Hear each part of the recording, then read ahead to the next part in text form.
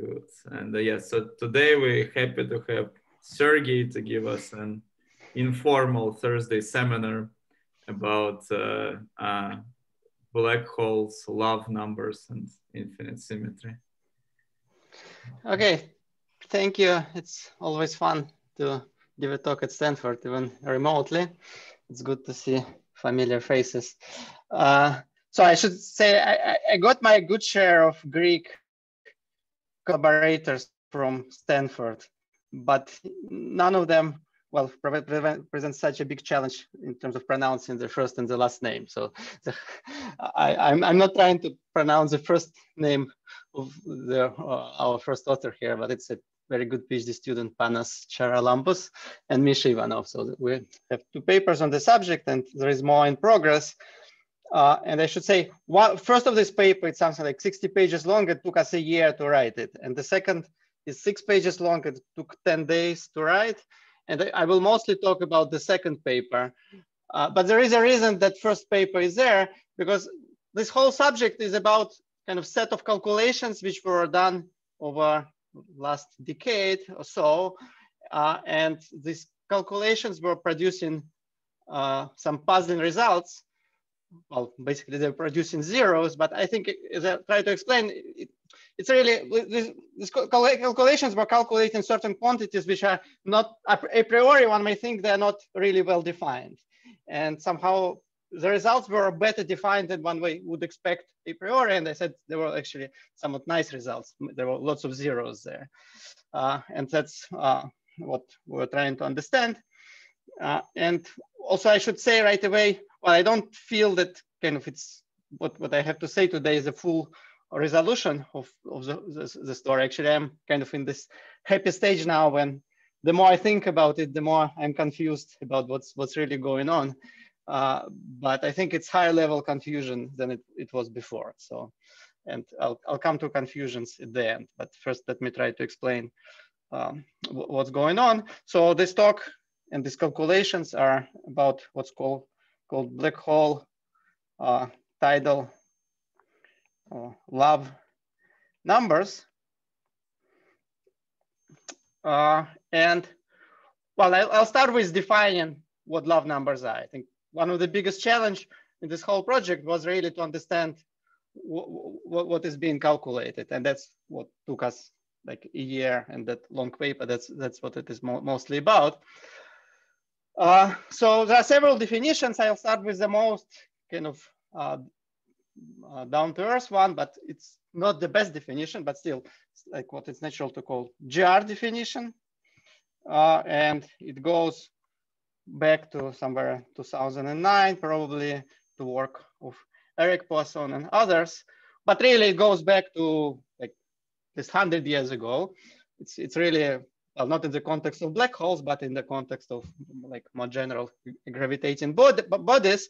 Uh, so let me start first with the Newtonian context. So if you have Newtonian gravity, so you're thinking about something like Earth, and there is a moon, sitting here, uh, then uh, we all know about tides. So there is a uh, tidal force on, the of the Uh, moon on the Earth. Uh, Earth gets deformed, uh, and uh, the way to characterize this. So if one looks at the uh, potential of the of the Earth, one should look at it uh, kind of one treats this, this, this, this distance is essentially infinity and one uh, looks far away from the earth. So this picture, of course, is not up to scale. So one looks at far away such that earth can also already be treated as, as a point like particle, but uh, somehow like one looks here. So roughly uh, still also far, far away from the moon. And then the potential can be written as a sum of several contributions. So first of all, or there is just uh, uh, gravitational potential of the Earth, uh, of un unperturbed Earth, Earth uh, then uh, there is, if I look, if I expand it in spherical harmonics and look at a particular value of angular number L, then there will be a term which can be written like R to the L that comes from uh, Taylor expanded the external potential of the moon around the origin. So R here is the di distance uh, distant to the Earth. So the, the way to think about this term is uh, because moon is very, very far away, we can Taylor expand its gravitational potential in the vicinity of the Earth, and it will be some growing contribution. And so in the L's uh, partial wave, it will go, grow like R to the L. Well, and then there will be a decaying piece. Here we'll just solve a linear Poisson equation. Uh, so there will be a piece which can be written this way, R to minus L minus one.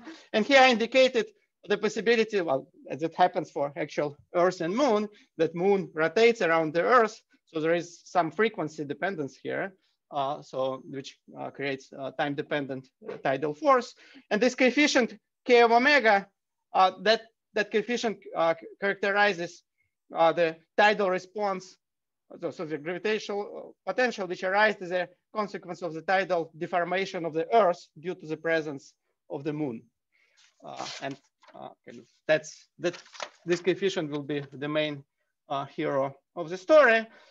so and, Sergey, so then yeah. the second term is also time dependent with frequency omega. Right. Yeah. Yeah. Well, I kind of I I I normalized it to one, so I I I just look this this phi which I'm growing. Yeah. So it's kind of I can write it phi sub L sub sub omega. So I expanded it in in Fourier. Uh, okay. So it's it's a response at given omega, and then I, I normalized uh, the, this, this, this coefficient to one. So can you unambiguously differentiate between the second and the third term? Because well, I'll come back. I'll, I'll come. I'll come. Get. I'll get there. But so far, I'm talking about really Newtonian gravity, right? So this is linear equation. It's a Poisson equation. So what is written here, it's, it's just exact. That's the all terms which are there, mm -hmm. right? Well, and I shouldn't really have. Yeah. So yeah, I'm being very. So so this term is not really. That's not part of the uh, it's, it's, it's spherically symmetric part. So if I talk about else spherical harmonics, then there is no MOR. It's really all what one gets there is these two terms, right? So that's a general solution of Poisson equation. Well, these so, two terms and then more subleading terms that go to higher power. So you say not no, no. If you solve Poisson equation, that's that's the most general. Okay. That's the solution, right? So okay. without without sources, that, that's all what you have. So in Newtonian gravity, it's pretty unambiguous what, what, what, what this K, K, K, coefficient is. But what you're asking indeed, that's kind of the source of some confusions about, well, we'll, we'll get there momentarily. So sorry, the what, last term, does it have minus L minus one or just L plus one? Sorry, it's- It's already in the- Yeah, it's L plus one in the, the, the denominator. Yeah, it's it's it's a decayed decayed piece. Yeah, mm -hmm, mm -hmm. thanks. Sorry for that. Okay, and uh, then uh, it's also often convenient to Taylor expand uh, this. Uh, well, if, if somehow we talk about frequencies which are small, then uh, the, uh, this response will be a uh, analytic function of omega. So it's one can Taylor expand this in omega, and so there will be a term like for the approximation that one treats Earth as a just spherically symmetric non-rotating body. It will be uh, there will be uh, this first term, static response, and that's what's called static love number in this context. And well, that's what original love number. And this is some dissipative contribution. Uh, and one thing which will play, well, it, it, will be important momentarily, is that instead, if we now take into account the fact that Earth rotates, uh, then actually uh, for rotating body, uh, then uh, it will get modified just as a result of rotation, uh, the response will take this form, omega minus m omega, where uh, this is the uh, angular velocity of, of the Earth. Uh, and m is there now azimuthal uh, quantum number. If I also expand everything now in harmonics, because it's not a spherical symmetric problem anymore. So then response will look this way. And this, this prefactor, well, it should be familiar for those who uh, looked in superradiance. So that's the quantity on which everything uh, depends there. And this is just to say that uh, when, when there is no spherical symmetry, so you see now, even if we look at the static response and zero omega, then there are two contributions. There is this one, which is kind of genuine conservative static response, but then there is a contribution coming from rotation. Uh, so the it rises to the fact that in the uh, rest frame of the of the rotating rest frame of the body, there, there is uh, uh, there is dissipation, but then when you go to uh, rotating frame, then this dissipation appears now it is, as a static res response, but it's uh, oops, it enters with extra factor of i. So one can distinguish uh, this one from from what's called love number. It will be important at some point late, later.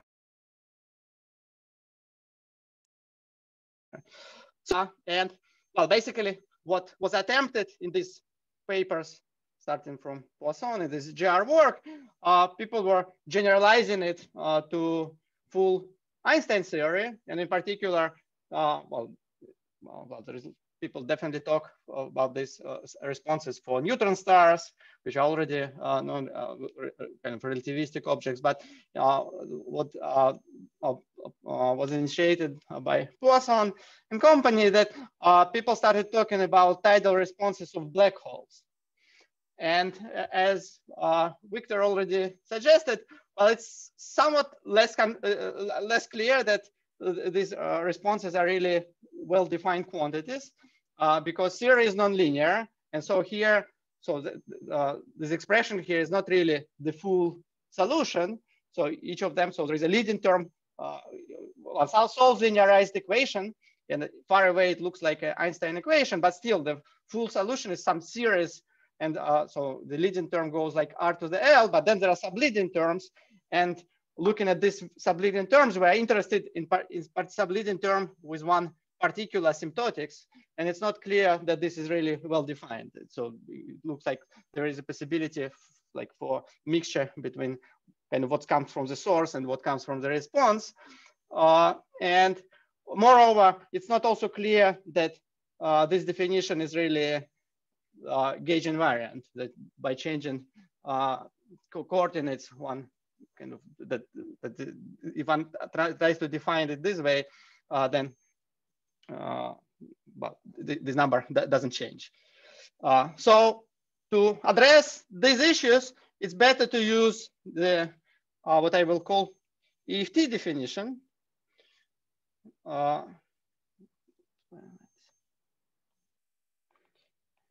and it's uh, related to the uh, world line effective theory by uh, Walter Goldberger and Eyerstein and by Rafael Porto for, well, this is the approach, modern approach uh, for calculating, say, uh, analytically calculating uh, gravitational uh, waveforms from, uh, from black hole binaries, for instance.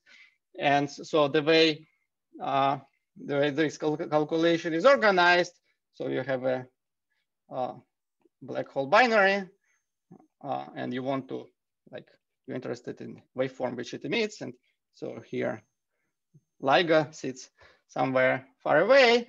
Uh, and uh, well, early stages of, of the binary when uh, the separation between black holes is still far uh, much larger than their size. So that's when one can do some analytical uh, calculations. But then, uh, well, it's a kind of typical EFT problem. There are two scales here, the size of the black holes and uh, the size set uh, by, by this separation.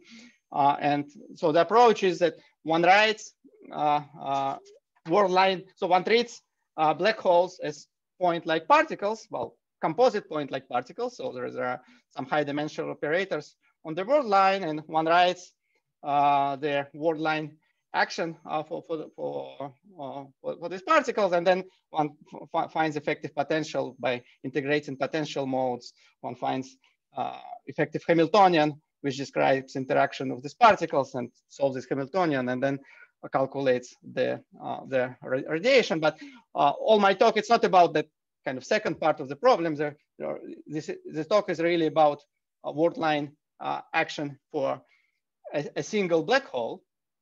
Uh, and uh, so to make my life simpler, just to avoid uh, extra technicalities. So, let's, instead of talking about full GR, let me consider toy model when I have black hole, which interacts with external field phi. So well, practically everything what I have to say about this model will, will, will, will get translated also in the full GR context, but it just saves me uh, time on writing indices and using Newman Penrose stuff and all that. So, but all, all conceptual uh, difficulties are there, and also at the technical level. At the end of the day, it's it works the same way in the scalar field case and in, in the full GR. Uh, and then roughly speaking, so there in this case, the action. I, uh, yeah.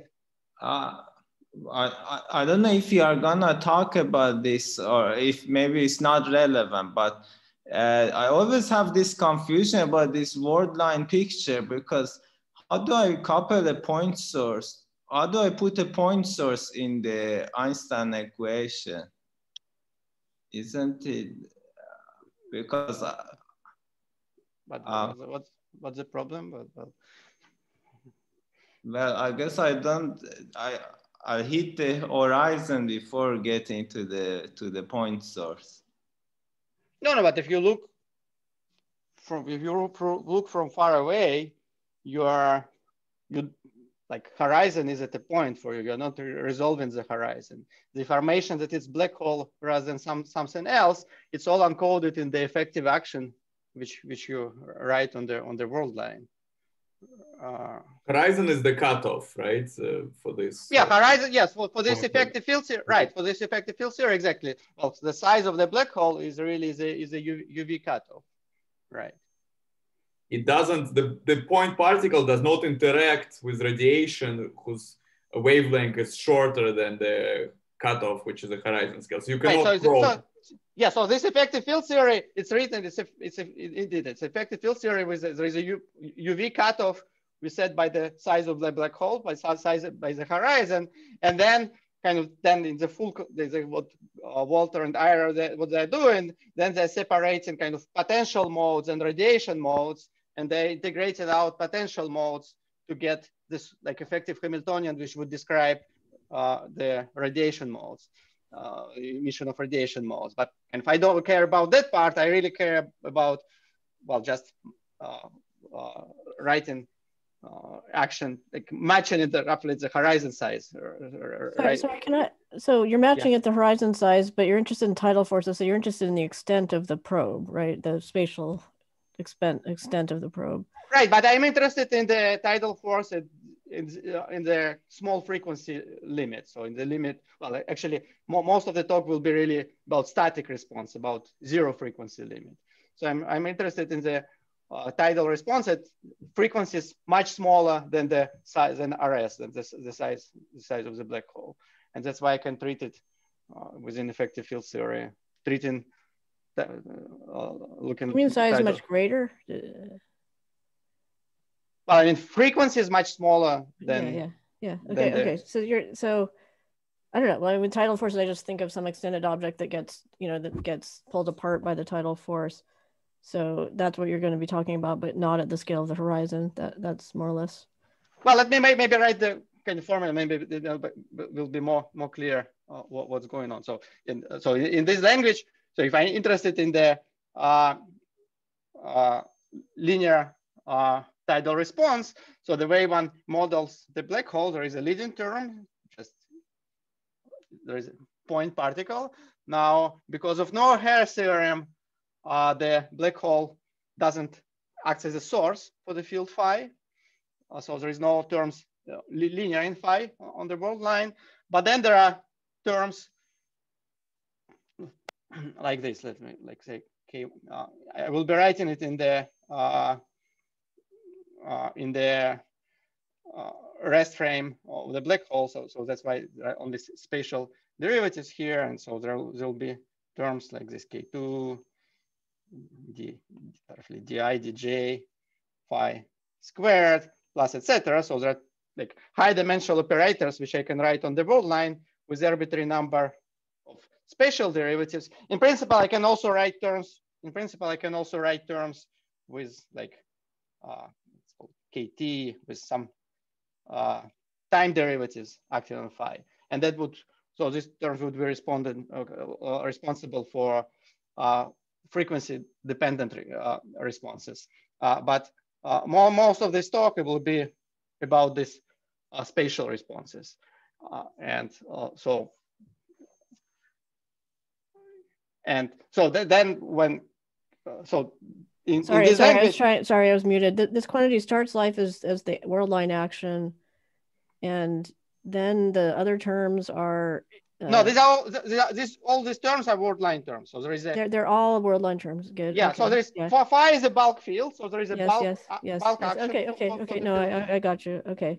So, right, and then there is this linear quadratic terms which one can write, write on the world line, and these terms. So these coefficients. So for instance, these coefficients in front of the terms which don't involve uh, the time derivatives, they will, correspond to this uh, static tidal, tidal responses.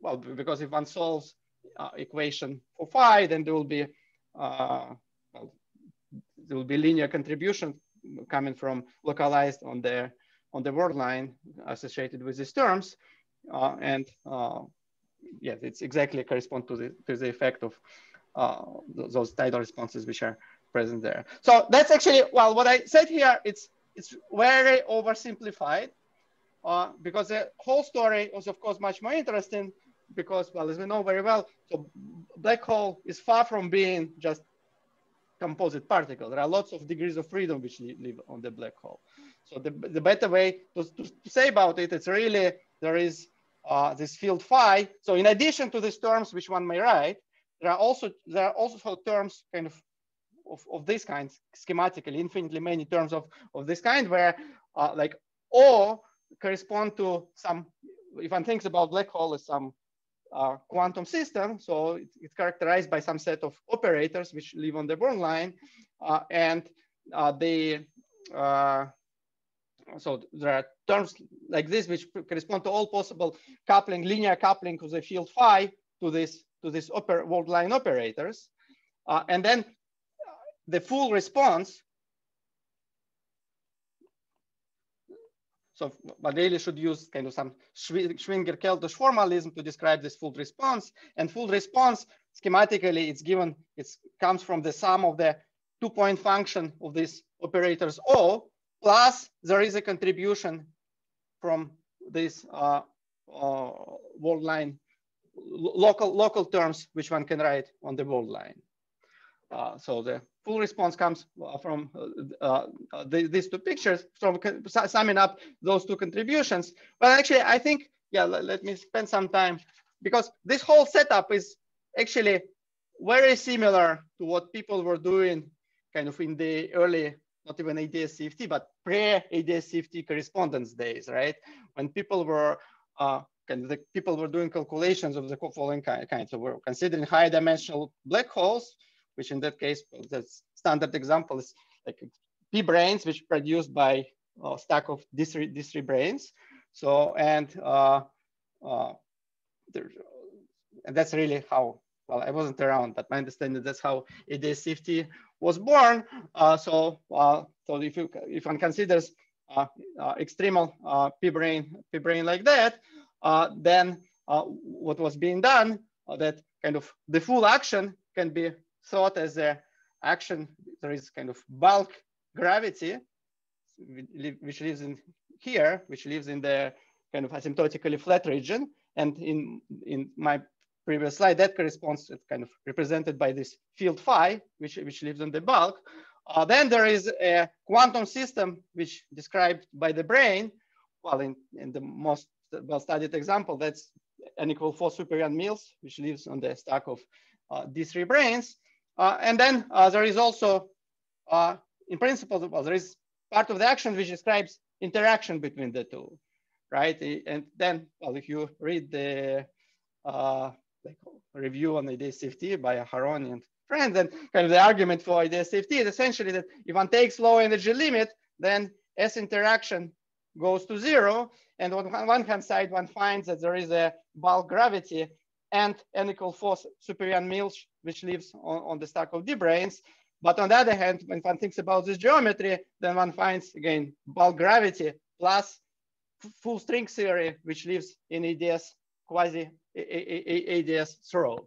And that's essentially how uh, the CFT was, was discovered. And the calculations people were doing to probe uh, kind of these two point functions in super mills again were very similar. So one was considering scattering absorption cross section of like different bulk fields, which uh, which go in, into um, uh, into on the stack of branes, and this absorption cross section, so sigma absorption, it's related to, to uh, imaginary part of uh, two point function of these operators, or which in that particular case we knew where they're coming from. They're coming from n equal four super Yang-Mills. So the, the absorption cross section were determined in these imaginary parts, and then uh, from this imaginary part, one can reconstruct the full correlator up to local terms. Uh, and so, well, but then if one assumes some uh, uh, UV asymptotics, then essentially one reconstructs the full correlator. But these local terms, these are, these are exactly these love numbers we're talking about. And I think maybe people may, may correct me, but I think the right way to think about this. So these terms, they really, then they describe not the kind of the CFT itself, but they rather describe right, release its self self interaction part.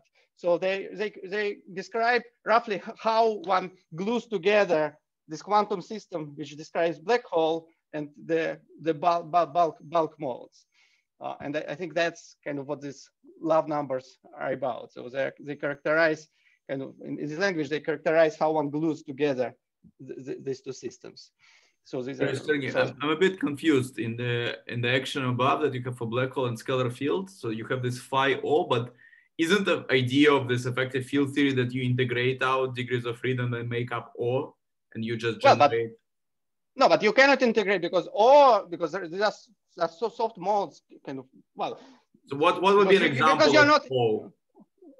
Well, it's it's equal phosphor if n equal four super Yang-Mills which leaves uh, just in the in the, the, black hole case what would be in, in the well, but we, well we don't know what these are but but also we know if well because especially when we're not talking about extremal black hole then we're not uh, we're not in a vacuum state of that quantum system right so uh, but how so that's, how, that's why what, one needs so you say you cannot really calculate the full response from this EFT formulas because there are some unknown operators. Oh, that's uh, well, one you characterize you characterize full response in terms of these two-point functions of these operators, or and just like it was done in old days, kind of ADS-CFT, and that's really what one extracts these two-point functions from doing uh, matching calculation from looking at the scattering of low frequency gravitational waves or scalar fields of black hole. And that, that, allow, that allows us to extract uh, this imaginary through relate absorption cross section to imaginary part of O. So one exactly uses this formalism. So one looks at a single black hole, one does this uh, low, low frequency scattering.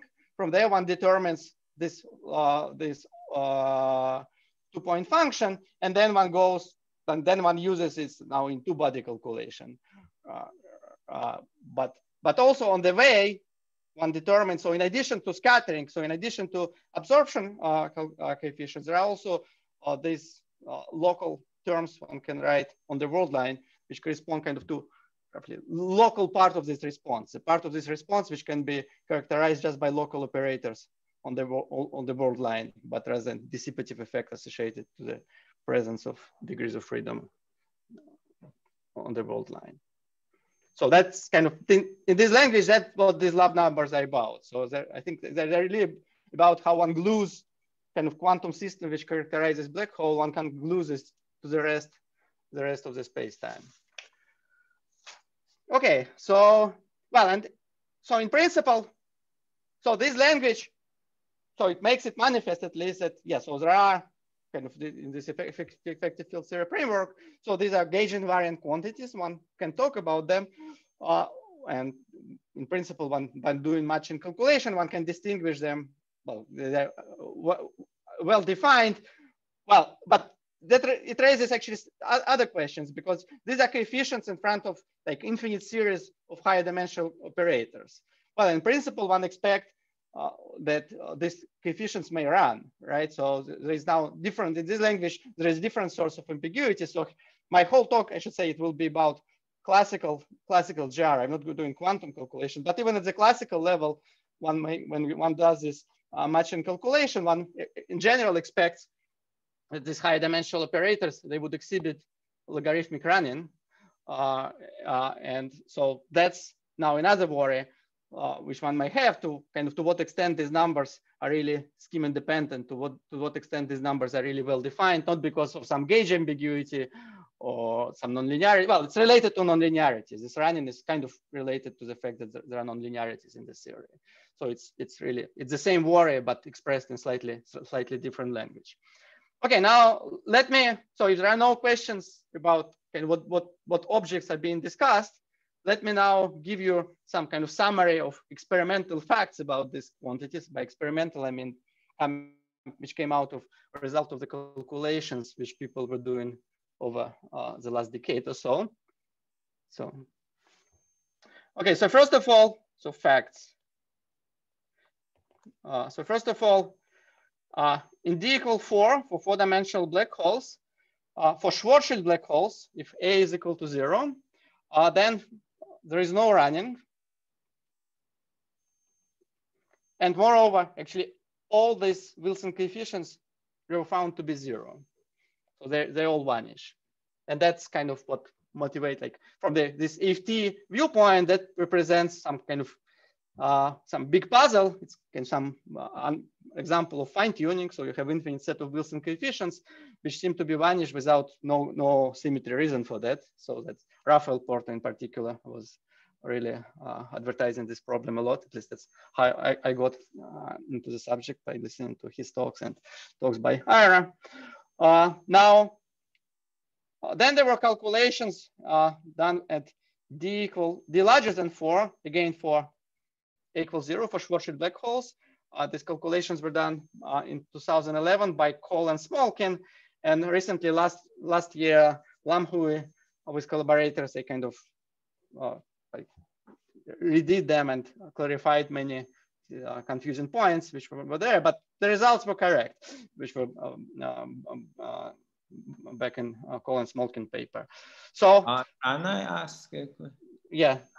So this running, should I think of it as being induced by the, like uh, if I consider a higher dimension operator as being induced by the loops of the lower dimension ones? Loops.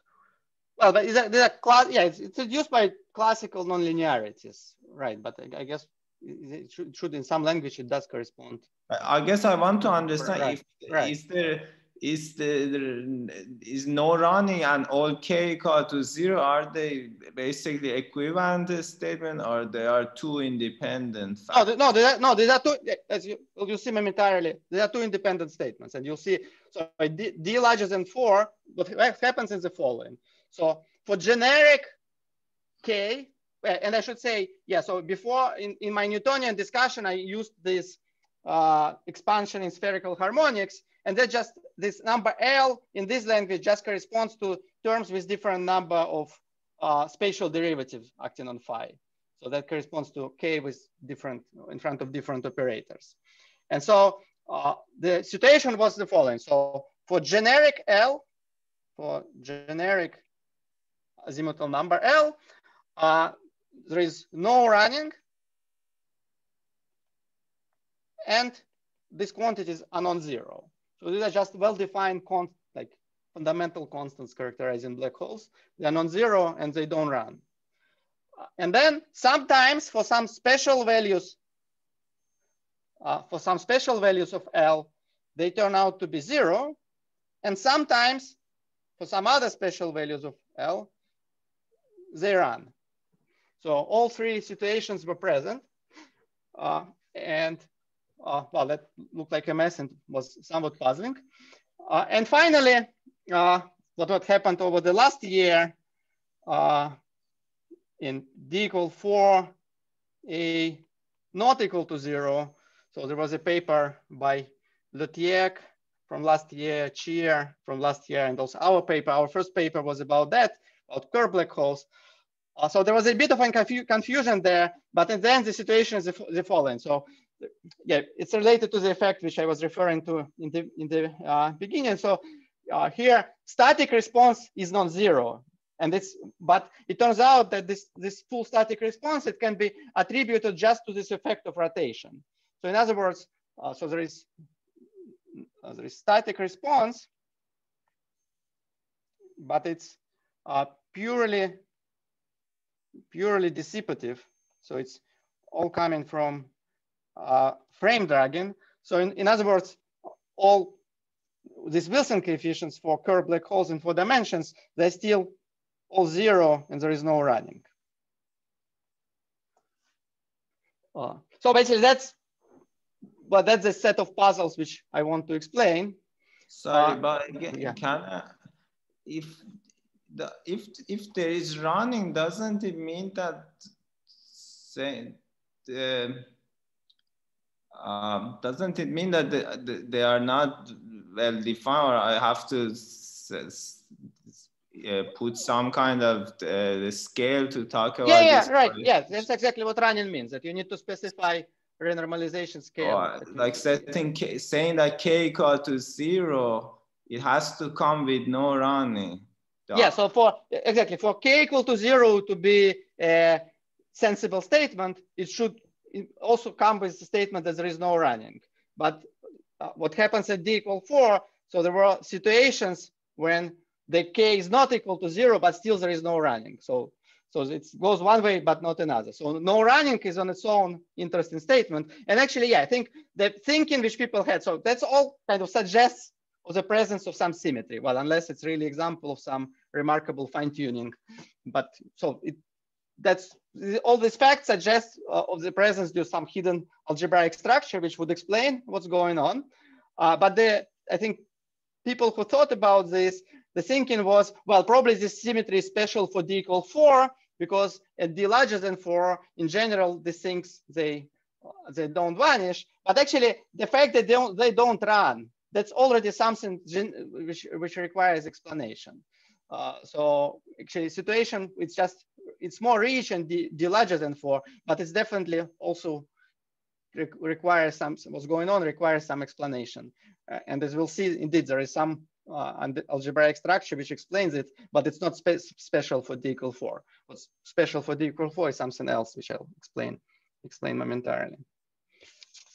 Okay, so yeah, so I finally, I managed to explain what are the quantities we're talking about and what is the set of puzzles which we're, we're trying to explain. So let me now come to explanation if there are no more questions in this stage. Sorry, and, and running again, you see it like in practice in this action, it appears, or there's some logarithm in, in, in this coefficient. Well, yeah, that's one way to say it, but yeah, because but uh, kind of the way you do how how what the calculation you do to determine this quantity just it's matching calculation right? There is a microscopic theory which is kind of full gr or like scalar field coupled in the black hole background and you can solve this klein gordon equation in black hole background.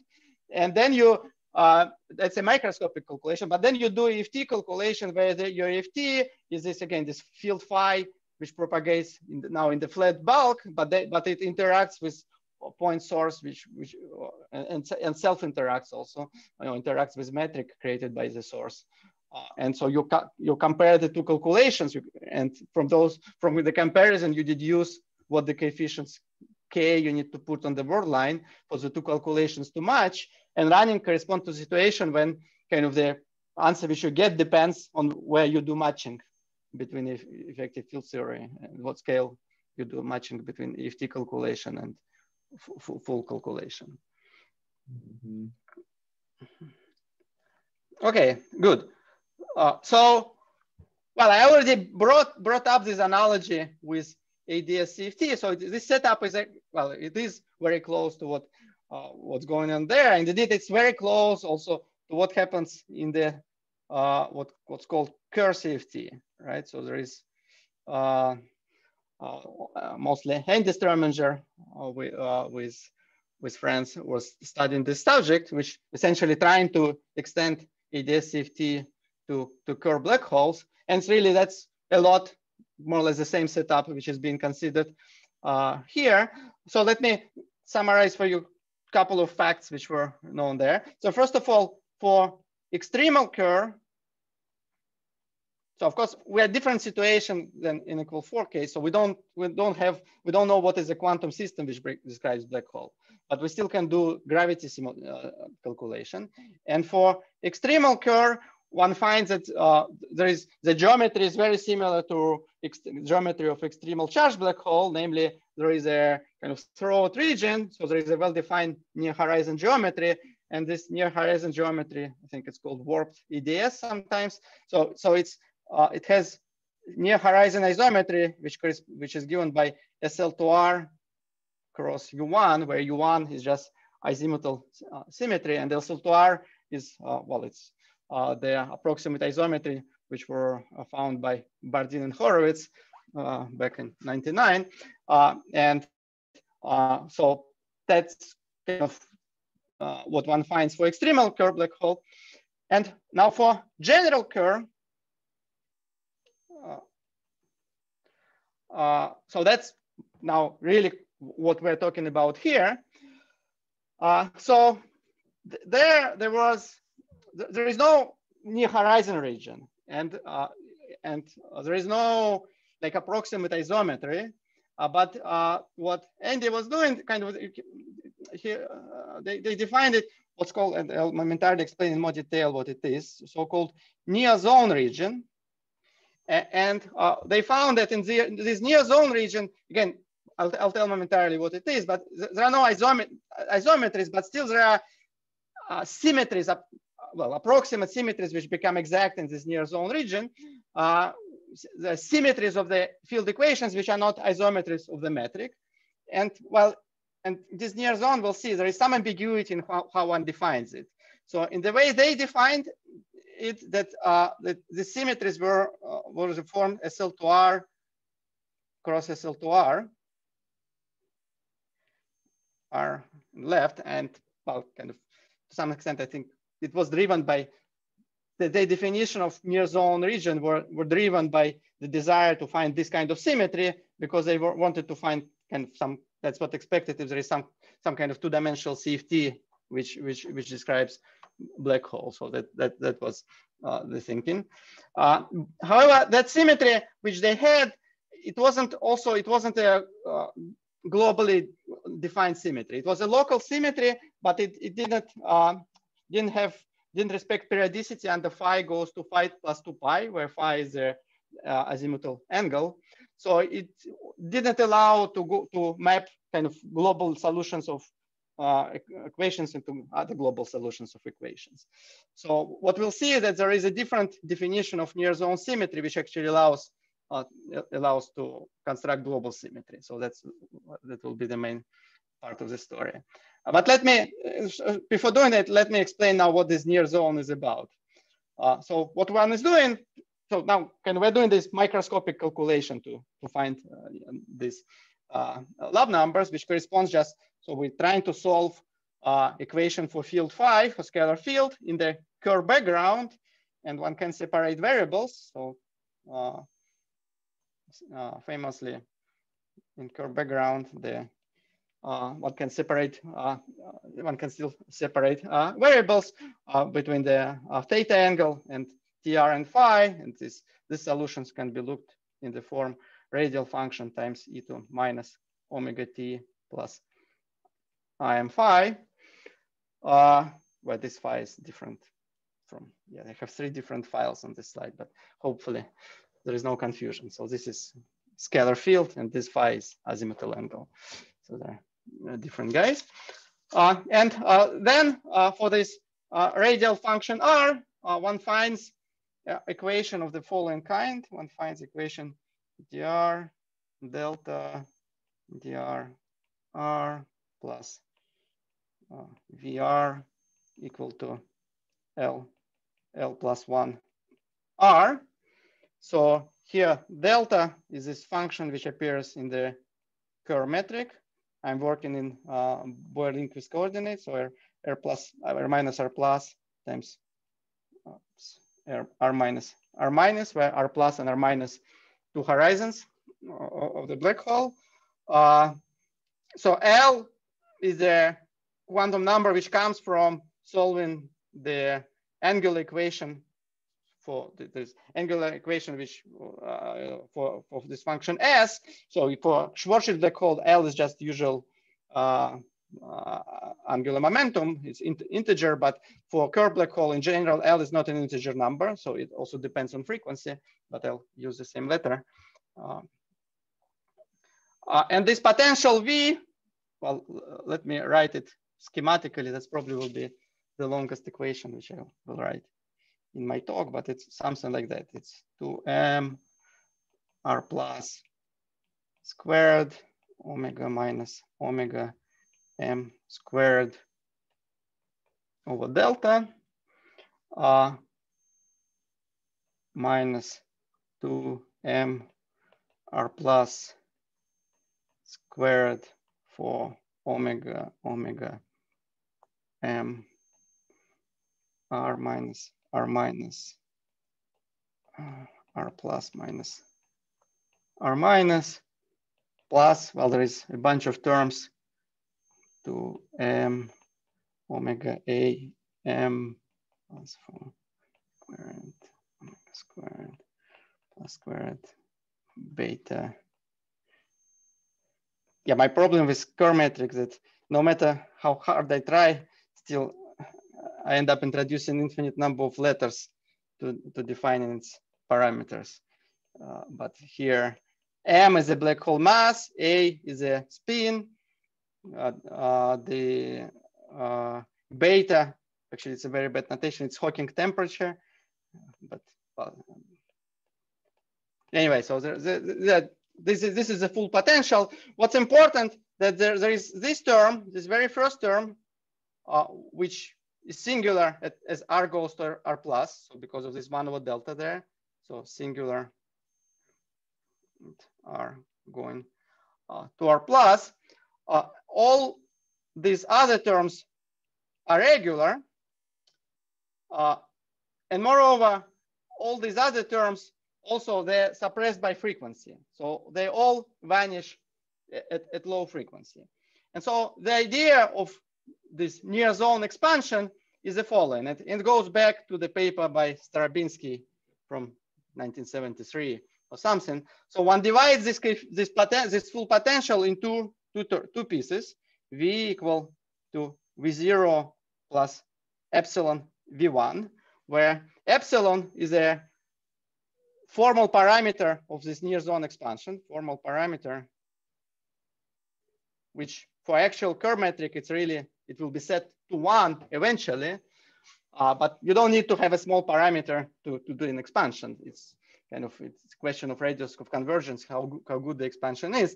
But the, uh, uh, but the, the requirements for this separation, so that this V0 part, it should uh, contain all singular terms, all singular terms.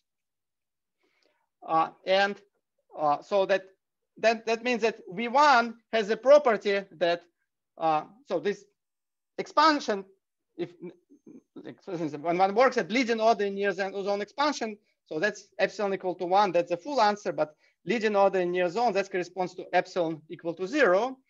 Uh, but in particular, that produces uh, so if this condition is satisfied, uh, then it produces uh, accurate results as soon as omega r is much smaller than one and omega m is much smaller than one.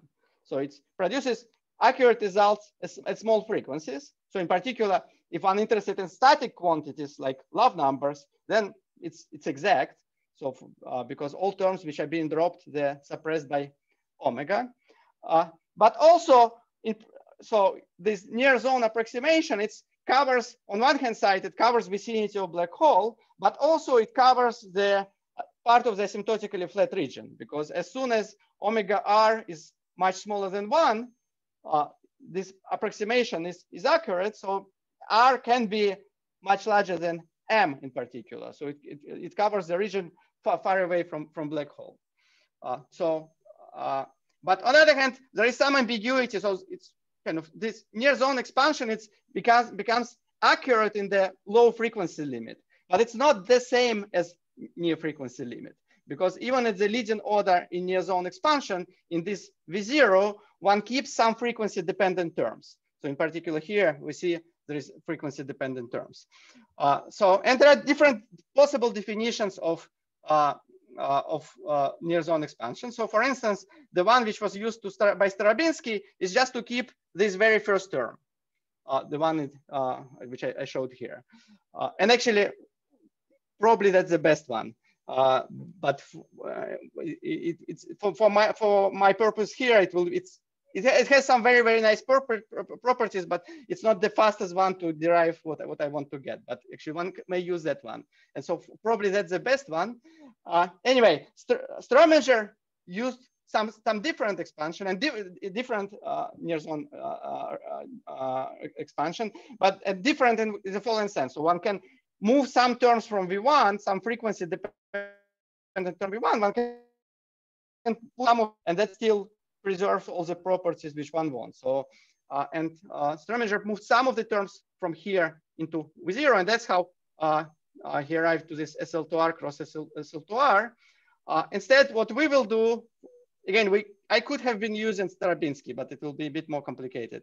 So to get geodesically to what I want, I will keep Starobinsky and I will keep this uh, this other term which is present here. So my V0, what I will call V0 will be the sum of these two, two terms.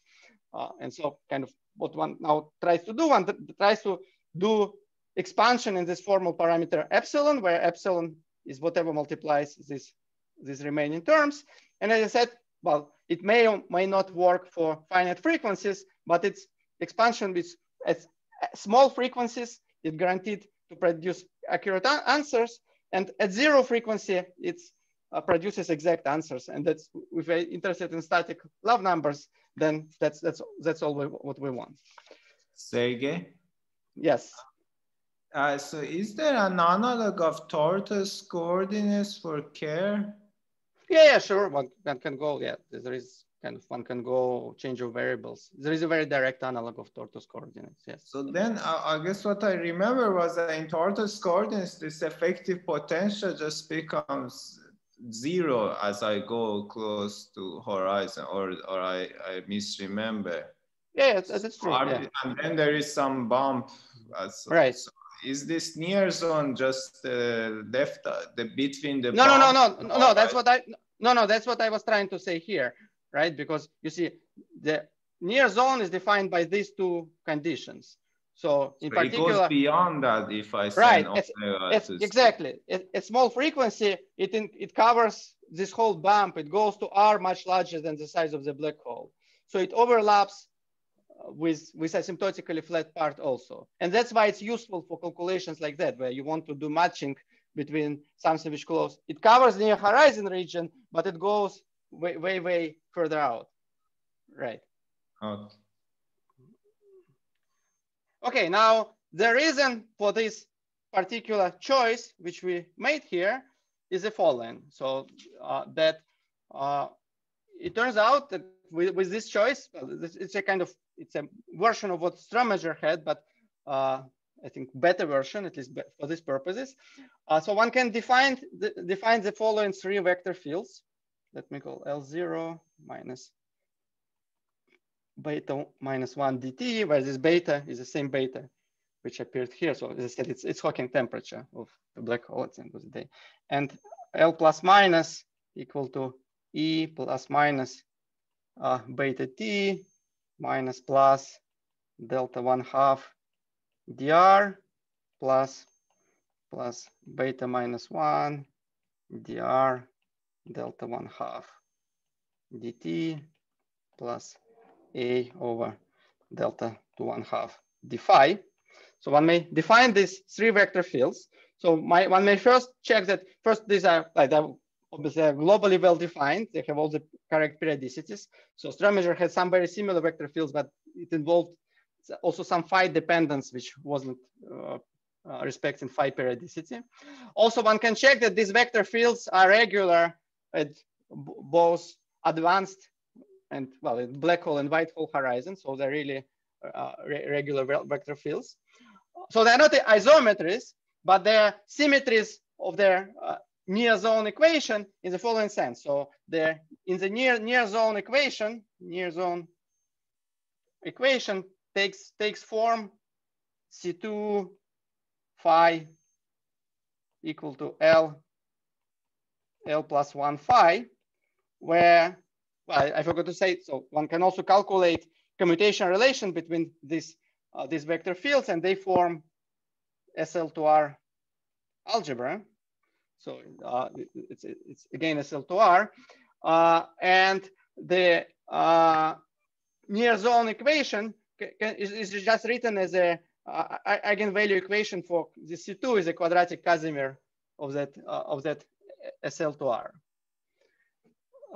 and uh, basically, well, that from that fact, we'll see now all, all, all, the, all the rest is follows. So let, let, let, let's, let's now all kind of all, all properties of love numbers now can be understood in terms of uh, just uh, representation theory of, of, of this SL2R.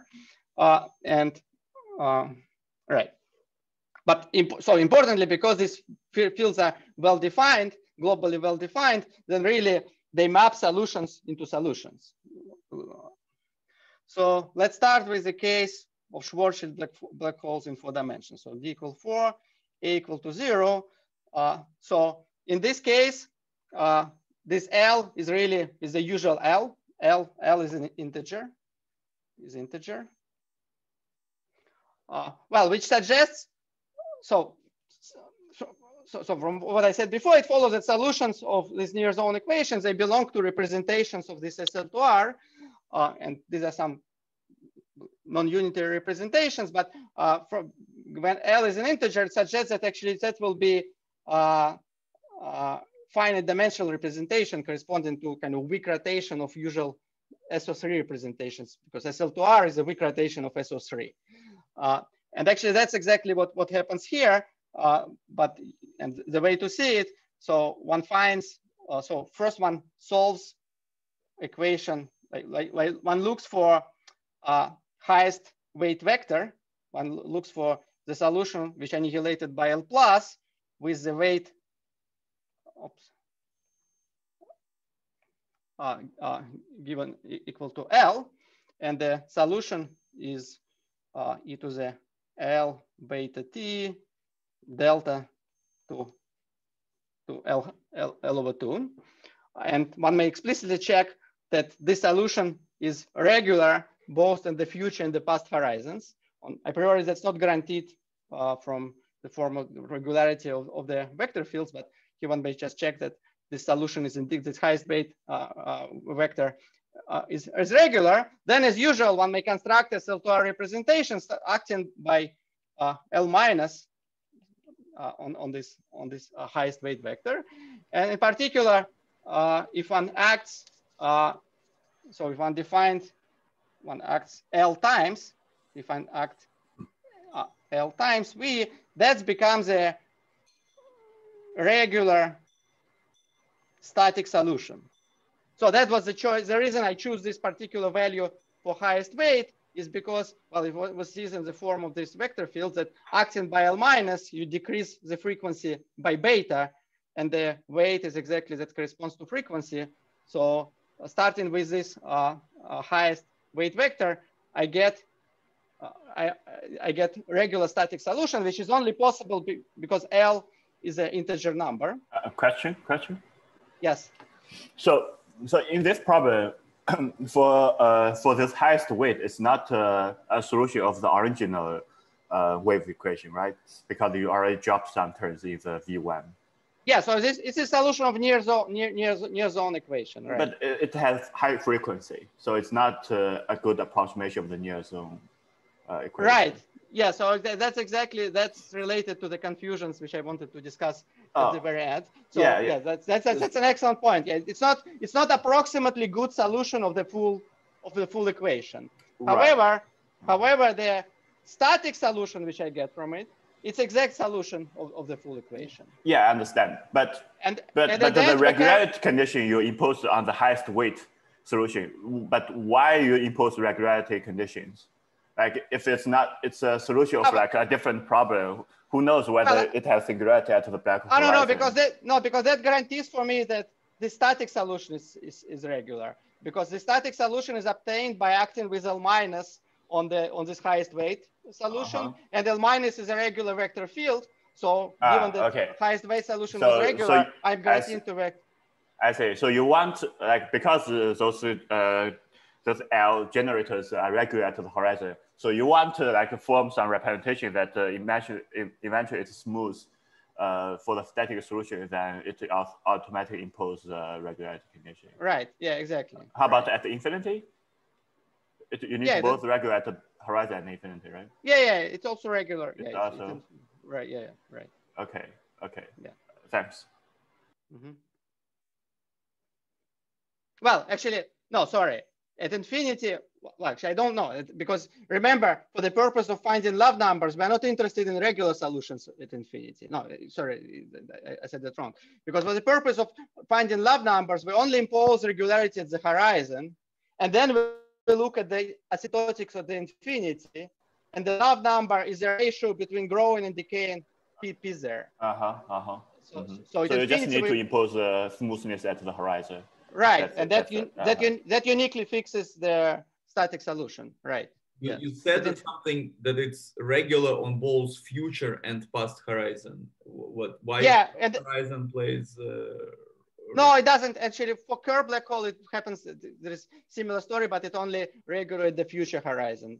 So yeah, it's really we only care about regularity at the future horizon because kind of physical black holes formed by result of collapse only have, have, have future future horizon.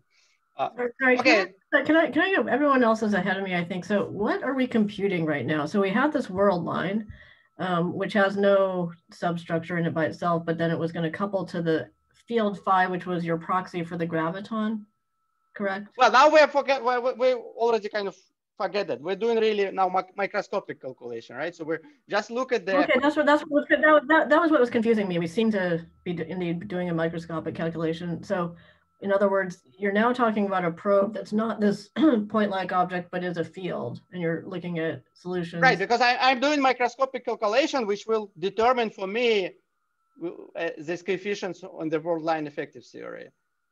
okay, so, how, okay, okay, okay. So you're gonna go. Okay, so you're going from the top down in that sense. Um, right. Yeah. So I'm right. doing. I'm kind of repeating the calculations which people do to to get these zero love numbers but I'm trying to see to find there's a structure which which produces zero. So I, am trying to see what what is the microscopic theory, what is algebraic structure which gives which produces zero love number. Okay, because because you couldn't just you couldn't just take the world line thing and somehow apply these L plus minus and L zero to that. No, no, no, no. The, right, and just show those. You couldn't do that, right? Or could you? Yeah, no, no, of course, because world line describes any effective theory. No, we don't yeah, really in the calculation microscopic theory to deduce for black holes what what are their what what the, these Wilson coefficients are. Yeah, good, good, good. Okay, and just one more question before I stop. So the consequence of them vanishing is then that the ultimately after you go through this correct route of showing it from the top down, the the world line theory then has none of these k terms, right? So it, its own its action is just the naive one. So it's as if even if it has some substructure, it doesn't it propagates along a, a point like geodesic. Is that is that the upshot of this? It seems like a really strong statement, but um... well, it's first of all, it's only about static static terms, right? Um, right. So it's yeah, the statement indeed. Yeah, in, in a static background, it propagates along, it doesn't feel the field, the presence of the field phi. Right? It, just, it, just doesn't, it just doesn't feel the presence of the kind of gradients in the metric, even if it's an extended object. uh, right. Which is which is yeah. a really which is a really uh, strong statement. It sounds like. Um, I, am tempted to try and connect it to since especially since you opened the door to AdS CFT, which um, isn't really relevant directly to here, but you know, there are these calculations of say extended strings and backgrounds of black holes like Dodelson and Ooguri have these calculations where there's definitely a tidal effect that builds up for at least for some trajectories. um, there in, in a rather dramatic way. So um, yeah, I'm just kind of groping for how to how these things are all consistent. But I guess you're saying first first of all that example was an AdS and so on, so maybe it doesn't even apply. No, but also if it's if it's string, then it will be kind because there are some kind of tidal effects just because string string is now one dimensional object. Like there are tidal effects. Well, no, no, no. But that, the, the whole thing about this effective theory is saying, yeah, but you could have described you could describe all that through some infinite se sequence of terms, right? And you're saying those terms are zero, no matter what the microscope. they're only zero for Schwarzschild black hole, right? Say for neutron star, they all they will all been on zero. Yeah, but oh. by, by only for new Schwarzschild black hole, you mean as the probe or as the source? as the probe. As the probe, okay. The right. string will get yeah. anything that propagates will get uh, either the. Okay, good, good. Okay, okay. So it's for it's for the it's not the source. It's the it's the probe. That that's the part that I was missing. I guess. Yeah. Okay. Yeah, you got. Uh, uh sorry, Sergei and Eva. Can I make a comment? I mean, there are some interesting calculations back in the the 90s and I think a little bit later than that as well by various people um, talking about um, the electric and magnetic dipole moments of uh, comparing extremal black holes and near extremal black holes to excited string states. And there were some puzzles there. You know, sometimes they match um, exactly, but, but these are the very highly supersymmetric system ones. So when you're doing the extreme one, I would imagine there's a close connection between dipole moments and these love numbers. Is that correct? For the charge for the charged black holes, for either magnetic or yeah, right, yeah, exactly. Yeah, yeah, yeah. And actually, that's what we checked. Like that part of what we did in our long paper to check that also for electromagnetic responses, all static responses, one, all, all so, conservative so so, so, so, so, as you know, there was a claim. There's these claims that that certain classes of extremal strip, uh, sorry, uh, excited string states match on to to black hole states in their properties, and and it was done for these dipole moments. So, is the claim going to be that in fact for certain kinds of string states there is also this um, um, SL2R like symmetry? Well, probably. Well, to the extent that they reproduce uh, yeah, these vanishing things. Yeah, it, it, I think this SL2R is really related to her, to the presence of the horizon. Yeah, to the extent uh, that these, these things respond to black holes. Yeah, I would say so. Right. Yeah, that's quite interesting. If if you can yeah. say something on the string side. So you've, you've explicitly checked that these all these statements do apply for all the the dipole quantities. You say it's in one of your. Oh yeah, yeah, that's that's an yeah. yeah for for okay. black holes. It's yeah all static like electromagnetic responses also vanish, right? Okay, very interesting. Yeah, uh, but so yeah, let me so so get, get to the bottom line here. So so one I get, one construct this regular static solution, but then one can act back on this solution by L plus, and we know by construction we know that L plus to the power L plus one acting this static solution gives zero because we started from highest highest weight vector to get, get this solution. But then just by explicitly uh, inspecting how L plus acts on, on the static function on psi to the r from the explicit form of this L plus, one finds, well, there will be some prefactor, some e to the L plus one, beta, oops, beta d, some extras like delta L plus one over two, times dr L plus one psi r. Uh, so basically the statement is, so, and that's exactly what, so the fact that it vanishes tells us that this psi r should have been polynomial, polynomial in R. And that's exactly the statement that there is no, this one over R to the L plus one piece. That's exactly the statement that there is, there is no, there is no tidal response. So in other words, we see that this vanishing uh, of the uh, uh, of the tidal response is directly linked to the actually not to the finiteness of the representation, but to the fact that this representation of SL2R is highest weight representation. That by acting with uh, uh, the Raising operator a uh, number of times, you get zero, and that's that, that, that gives a, a, polynomial. So I, yeah, I'm running out of time. Let me just briefly say what happens in other cases.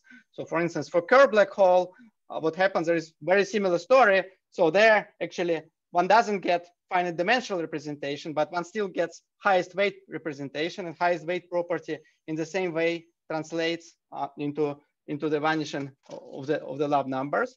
And uh, really testing ground that it's all kind of that's the right interpretation of the story is this situation with Schwarzschild black hole at D, D larger than four, for D larger than four, A equal to zero. So there is, a, there is a very similar story. There is a kind of generalization of this SL2R, which can be found. And the equation takes this form. So let me call it L hat, L hat plus one. So there is some kind of analog of this parameter L. Uh, but this L hat, it has the form L hat is equal to L divided by D minus three, where L is now in integer, is an integer number and d is the number of space-time dimensions.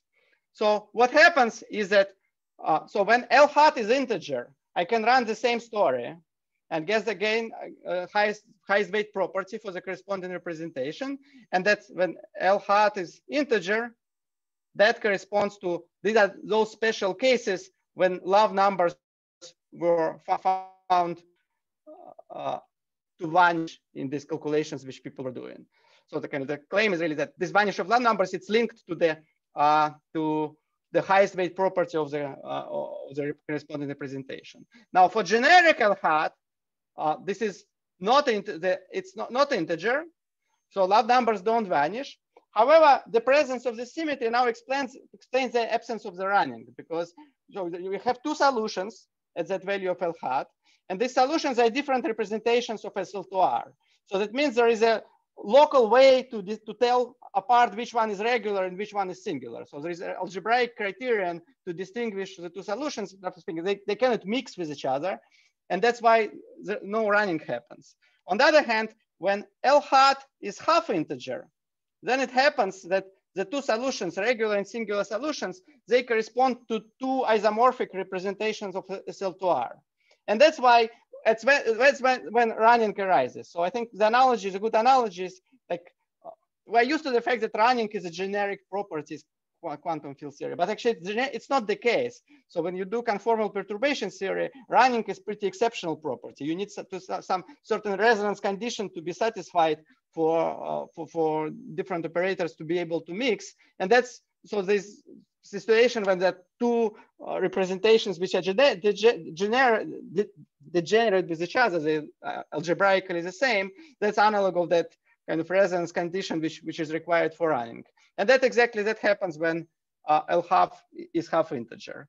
Uh, and so for, for generic L hat, uh, so it's not integer, so the, the static solution don't belong to uh, highest weight representation, but still the presence of the symmetry explains why there is no running because they're algebraically different. They cannot uh, cannot uh, mix to mix to each other. Uh, yeah, so well, as I said, there are some natural good things which happen in Starobinsky story, but yeah, I don't have time to that. Let me just say one one last thing, and that's related to the question which I think uh, Jen Bin asked. Uh, so at first sight, it looks like okay, we got some triumph of naturalness. So we uh, we, we we're interested in the static quantity. And we found that this system which we're studying has kind of approximate symmetry at low frequencies. And that symmetry at the algebraic level explains vanishing uh, of certain Wilson coefficients. It kind of reformulates everything in terms of like certain algebraic statement that certain representations have uh, uh, high, highest weight property. However, the confusion is that uh, kind of that symmetry, if you, well, that's exactly what the point made by Jen Bin. Uh, so where, where, do I have these generators written? Yeah.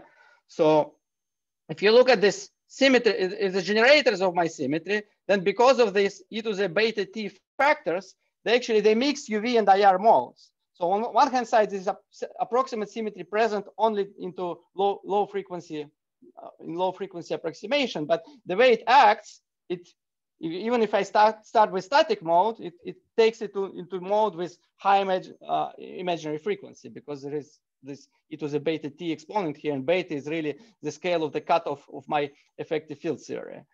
Uh, so in that sense, it looks it doesn't look like a conventional kind of symmetry explanation. Uh, it doesn't invalidate any of the arguments which I made because uh, kind of the procedure was here really first take near zone approximation, and this near this near zone approximation produces exact answers for static quantities. And then in this near zone approximation, there is a very nice algebraic uh, reason for love numbers to vanish. However, if one now recalls, if one really tries to think about this near zone approximation as some kind of low energy effective theory, then this symmetry, which is responsible for these cancellations, it really takes IR modes into UV modes. So one takes one out of the uh, regime when uh, kind of this near zone approximation was accurate. Uh, so, and that's, as I said, yeah. Could you explain again why, is it obvious that all regular static solutions can be generated, like should be descendants uh, of, you know, regular uh, solutions? Like, can I imagine a situation where uh, some, I start with, you know, some highest weight thing that is not you know not regular at the horizon but then i you know act by enough of this low whatever lowering or uh, raising operators and then i get a static solution that is uh, regular in the horizon. Like like well, how do you know that you didn't miss some some some static some regular static solution?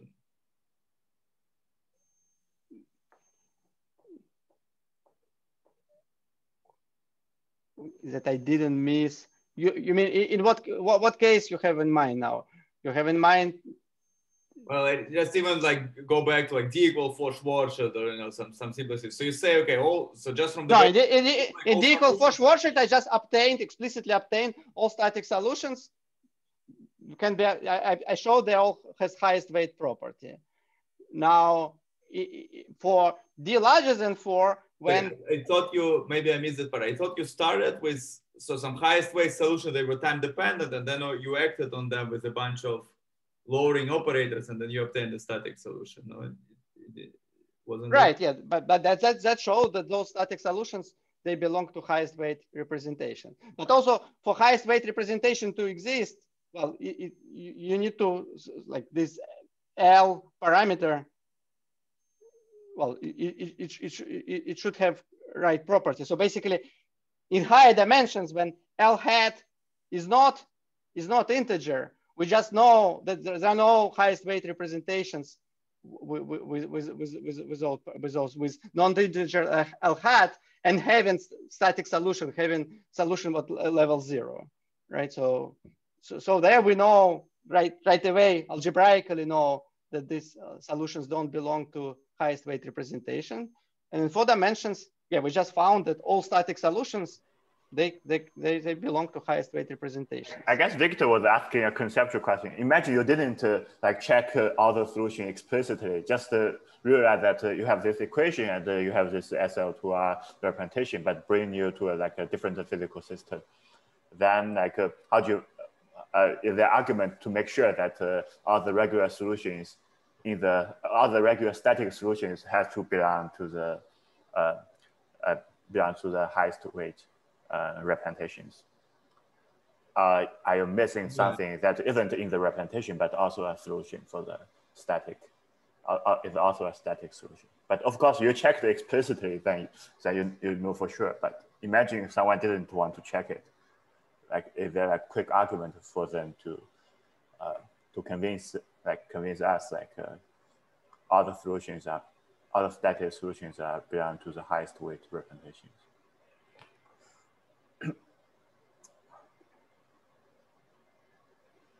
Well, yeah, I'm not sure I fully understood what the question is. Is it, but... is it easy? Like, how, how do you know, like, how are you sure that you found all the static solutions? I guess maybe, uh, again, that's what I'm asking. So you say, well, don't have one. At each, there is a one solution for NEL.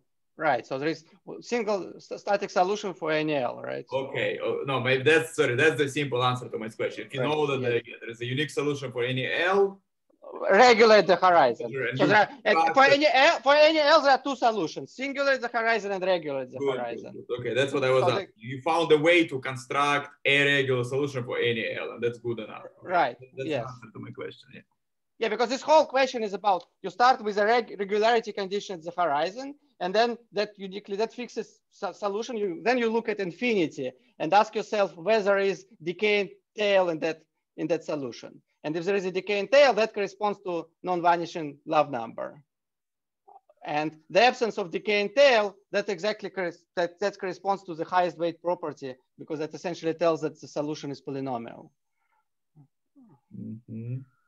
Sorry, I, am just still way behind on what it is you're computing exactly. There's some field equation that you're working with here, right?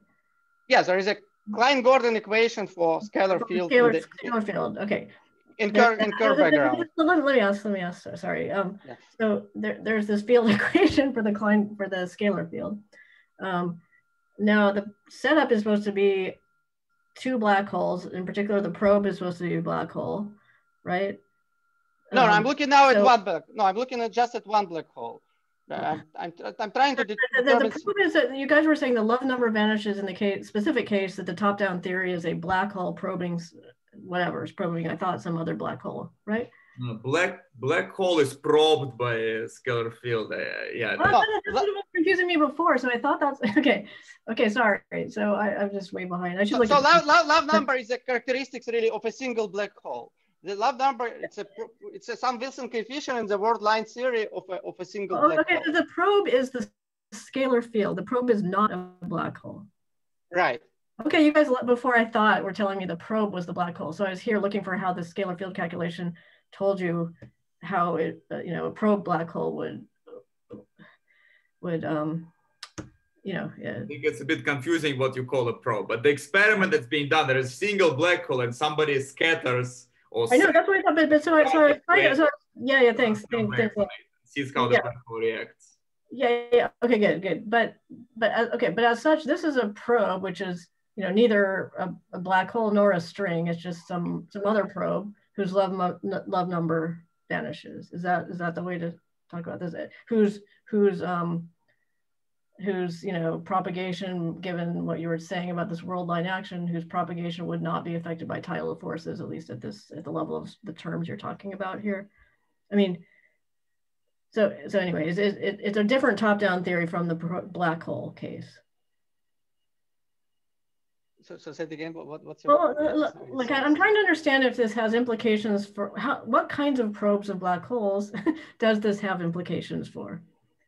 Probes of black, well, for any probe of black hole, right? Because oh, okay, okay, okay. So then before I was asking, okay, but there were these calculations of strings propagating where they really did feel the tidal forces, and you and certainly stars feel them, and so on. So not all probes of black holes do not feel tidal forces. I, am sorry, I'm just super confused about the very basic uh, logic. You're probing no, black holes with some simple, okay, I think examples of probes of black hole, I know scalar field, electromagnetic field, gravitational field, but it's but something you, you, always work to linear order in uh, in in that thing that you're sending uh, onto a black hole. So you're not trying internal structure of particles that you're scattering off the black hole. But, but but let's see. But tidal. This is about tidal forces, right? Tidal forces have to do with little gradients and your sensitivity to them, right? That that's what we're. That's the general question here. Um, yeah, tidal force it's, itself gets deformed. Uh, yeah, it's, it's like, okay. Okay, so the black hole, you're asking whether the black hole itself gets deformed by the scalar field that's propagating in this background? Is that the? Well, it's rather I'm looking at the black hole propagating in some non-trivial background created by some source which is very, very far away. And I'm asking whether black hole gets deformed due to this external, the presence of this external background. So where, where did, in the equation you said black hole back reacted? You just look at the scalar wave equation. Why is the back, black hole back reacted? Right. So you look at the scalar wave equation. Exactly. It's just what you actually do here is a scalar. so, so, sorry, you, have been cut off. Uh, but yeah, so this is R. So I look at the equation. It's a solution for scalar field equation of the forms that it's. So here is the horizon. It's regular at the horizon, and then I'm mm -hmm. looking the solution which grows at infinity, like R to the L. And the presence of this growth, that corresponds to the fact that there is a source which sits far away from the black hole. And then, so, this is a, so sorry, this is a solution for the scalar field phi. Right, so I'm looking at the solution for scalar field phi, which where I fix the fact that it, the solution grows at infinity, regulate the horizon, and I'm mm -hmm. trying to see where, what is the kind of decaying piece here, R minus L minus one times K. And the coefficient in front of this decaying piece, that's the response, that's has an interpretation. I think it's really in the effect EFT calculations. That's literally how one defines de determines these Wilson coefficients. So this coefficient it it has information about black hole being deformed by this external field and producing this this response in addition to initial one of R piece, one one of our, our potential. So the technically calculation is, is, is really this one. So you look at the Klein-Gordon equation, you impose regularity here, you fix growing part at the, the, infinity, and you look at the decaying part at infinity. And that decaying part, that's, that's, that's the response. The response of, of, of what to what? The response of... It's a response of a black hole uh -huh. to, the, to the external field but, created but, by some. That's, that's right. You're solving for the field, so this decaying piece is is in the solution for the field, not the gravitational field of the black hole. Uh, or you, well, if there were if there were if there were no black hole. Sorry, sorry, you're associating that with the black hole now. That that's how I'm supposed to think right, about yeah. it. Because if if there were no black hole, then I would just have like R to the L, right? I would have just uh, growing piece coming from from from from uh, well, from the growing piece for, for the, the the second object is the phi, the field phi. The first object was the black hole. So ah, the the second object is kind of it's really at infinity, sits in infinity here. It's imaginary object which creates this this growing growing piece for, for, for the field phi. Yeah, but you may, yeah, so the picture is that there is a... Sorry, sorry, I think maybe the thing I'm missing, and I'm sorry I'm being super slow today, but the, the, the field phi is supposed to be a proxy for the gravitational field, or it's a proxy for the... Yeah, so, yeah, I should say there is exactly the same, no, it, here it's, well, it's a scalar field, but there is exactly the same calculation which can be done for gravitational field. And, okay, and so, story, it's, it's a proxy. The story is exactly the same. Okay, okay, so, so it's a proxy for the gravitational field, and there really are two black holes in this problem. Well, there is one black hole and then some other source. It doesn't matter what it is. There is some other source far away, which mm -hmm. creates gravitational field here, which locally we can just Taylor expand, and it looks like there is some R to the L, some some part which grow, grows towards towards the direction of that that object far away and it doesn't matter what what that object is. Okay, okay, okay. I see, I see. So you're saying you're saying this this downward line would be um, the development of some response of the black hole to to the other object, with with the scalar field being representing the the gravitational field of the other object. Right. Including its gradients and everything else. Okay, okay. Thank you. I'm I'm sorry. I was so slow. sorry, Sergei. I have naive question. So if you in, interpret this uh, decaying piece as the response of the black hole, uh, shouldn't it be suppressed by one over n, uh, suppressed by G Newton? But this does not express by G Newton. If it's a back reaction, gravitational back reaction. It's more like a particle, this phi field is self interacting on this curved background that will give you this response. Yeah, because I think I think you said it in the beginning with your planet example. You kind of postulated that this uh, downward going in pieces is physically related to the fact that Earth was deforming, right? But maybe it's not like it's not obvious. Uh, not obvious to us. Case, right? Why is it enough to just solve the linearized equation uh, in the background of Schwarzschild? Like it looks like Schwarzschild never got deformed itself, right? You you had Schwarzschild and you solve some linearized equation like why does it why oh, because I, this equation corresponds to deforming of the the shape of an object I, I think that that's well because i'm i'm doing linear response calculation right so you know yeah that corresponds to solving i'm, I'm solving linear so, yeah, so, so again, else, how else would we define the deformation?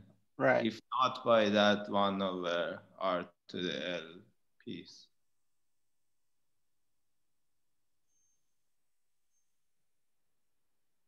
But really, I think that's why, well, this if EFT, EFT definition is kind of, it, I think it allows to avoid all, all, these confusions, right? So there is some exact solution for this linear equation, and we're just trying to reproduce the solution by doing EFT calculation where we introduce these uh, coefficients on, on the on the uh, on the world line, and there well, uh, yeah, here it's clear because we're looking at the piece that is quadratic in the action for phi, which corresponds right. to solving linear equation for phi. So, so in this right. relation, I think it is.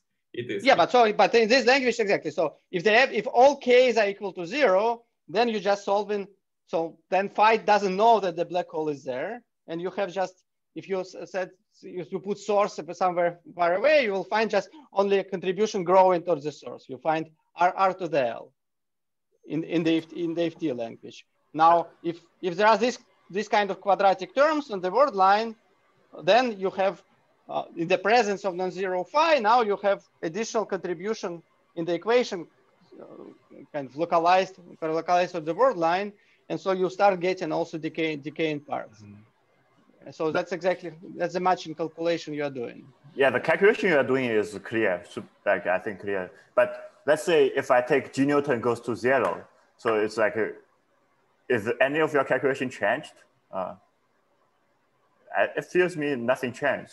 Probably but then, case, do this case depend on the Newton? Like it's right, like, yeah, because it's essentially. Size of the black hole becomes zero. Take G Newton goes to zero. I mean, the, the Schwarzschild solution. Well, because this case, they're for the, like, just in terms, they afforded the size of the black hole, right? Or for the or for the rest, like that's that's the parameter. Oh, okay. So, but the, but the, but also also the form of the generators L plus I minus degenerates itself if you take G Newton to zero. Well, it depends on kind of yeah what exactly you mean by taking G Newton to zero. Do you, do you want to keep geometry fixed or? Yeah, the geometry fixed like scale m and take G Newton goes to zero. Think Jean-Bien wants to make black hole very rigid, just for yes, it's a yeah. background that you cannot deform, no matter how much energy you send at it. But, but I think probably in the yeah, because in this case, G Newton is something like because I, this field bulk hill phi it has bulk kinetic term, right? D, d phi squared. So by G Newton, you mean something that, what stands in front of here, right? One over G Newton, right? So you, you, you, you, so in that sense, if, if everything is right, so uh. if you, yeah, so if, if you have something like this, if you, so this is bulk part of the action. And then if you, here you have K, oops, K d phi squared on the world line. Yeah, if you take this G Newton to zero, keeping this K fixed, then the, the, the, the effect the, the, effect goes to zero. But uh,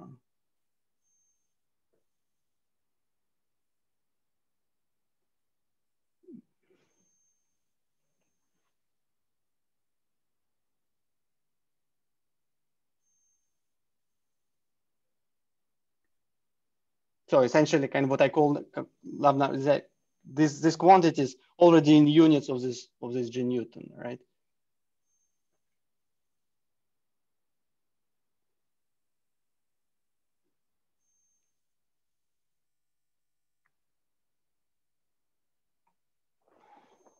I, I, I, I don't I don't think that that's a particularly convincing argument for the scalar case. I mean, maybe for the gravity, if we're asking about the deformation properties of the black hole itself, you you you have to you have to allow you you want to take a you want to take some limit. Um well i'm not sure. Yeah well we're solving full in the case of black hole yeah so it all comes from in the microscopic theory it all, all comes from einstein action right? So mm-hmm. so in, in that sense well you're solving you first found you found, found this black hole metric solving Einstein's theory, and now you look at small perturbations around this metric and determine this response. So in that sense, genu there is no way to send well, separately. But, but, the, but the thing, but we know what happens in that case, which is r plus and r minus both go to zero. Well, if you take that limit, well, yeah, yeah then. You, but that's why I said it isn't the correct statement that the G Newton G Newton appears because if you go back to the way the generators are defined, all right.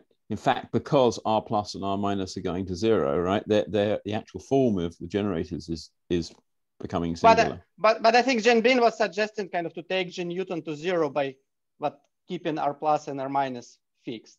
No, but I don't. I that's why I disagree with. I don't think that's the appropriate limit. Well, it's a limit which one may consider, right? So, oh. but that and that would be like considering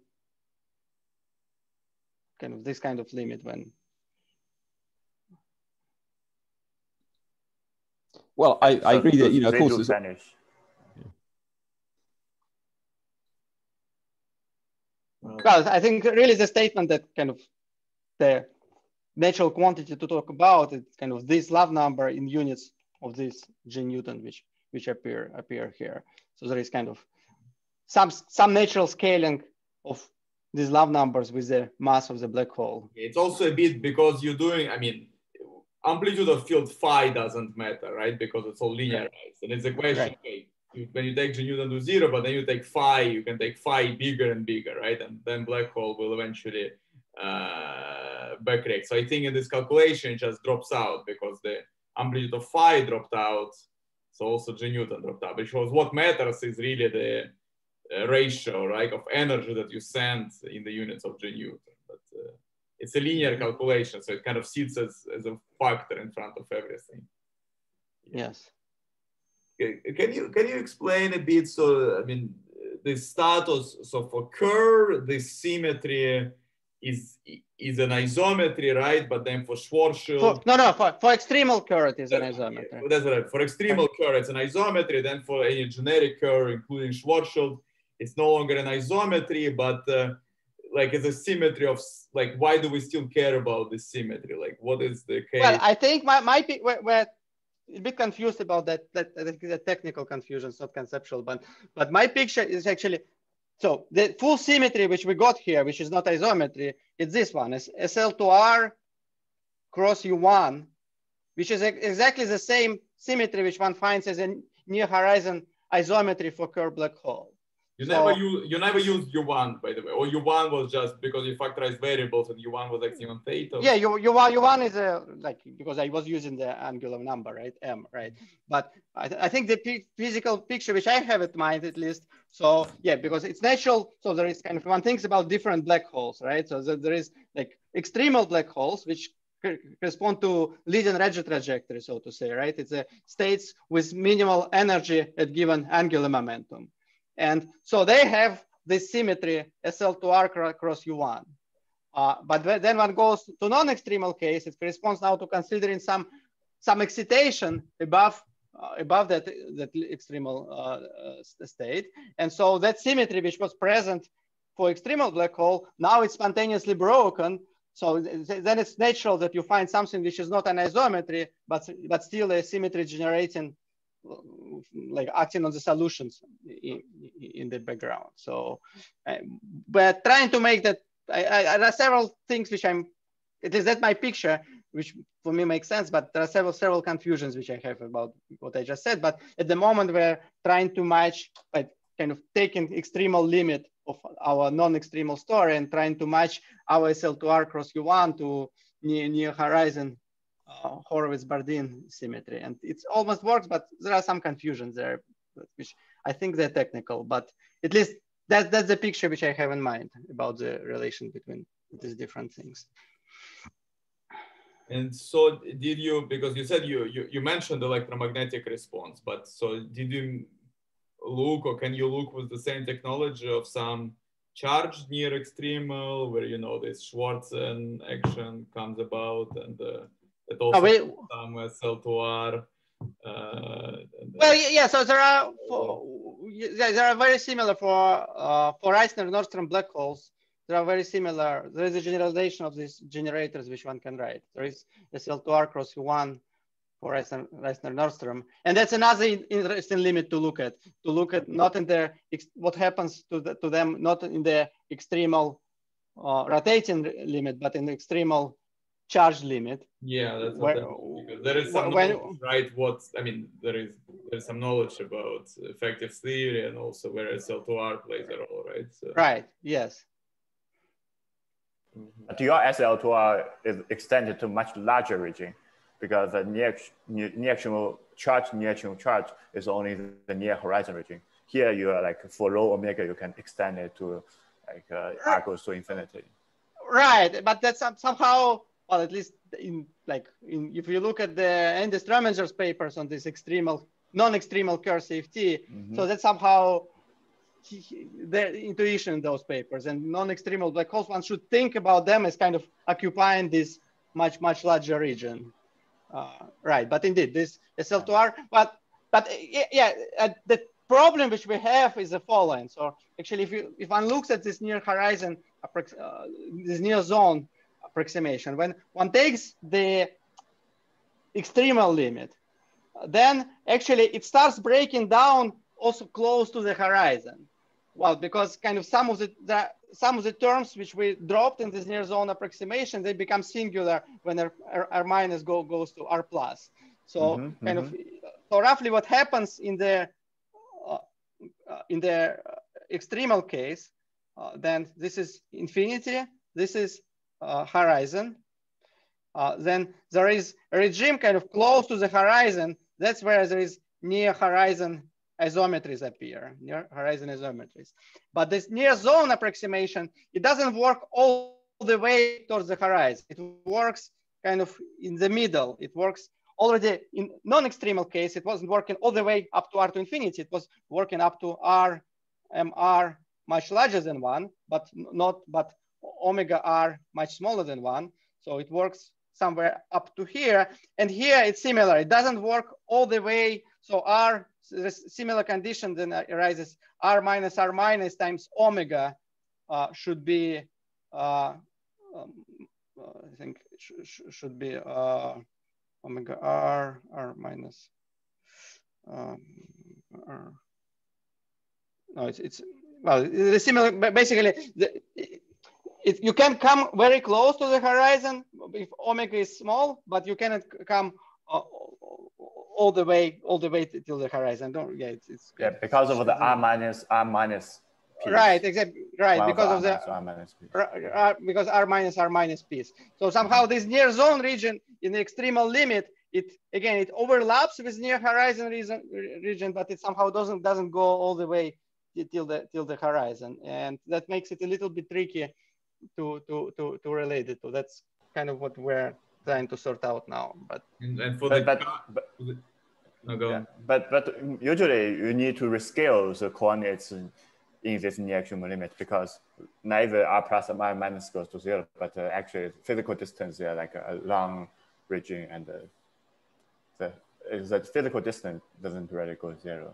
So right, but also after the scaling, it's uh, well, it's kind of related to that because really when you go to this near horizon region, you kind of you also zoom in on frequencies of what are the like rotate the right, right. rotation frequency. But here on the other hand, for the purpose of like uh, studying these love numbers, we're interested frequencies around zero from the point of view of asymptotic observer. So that somehow creates tension between these two limits. I see, I see. So roughly this near horizon region is kind of, it locks in and rotates on its own but on the other hand, we're trying to, to, to look at the response at different frequencies. So that's kind of the, the tension here.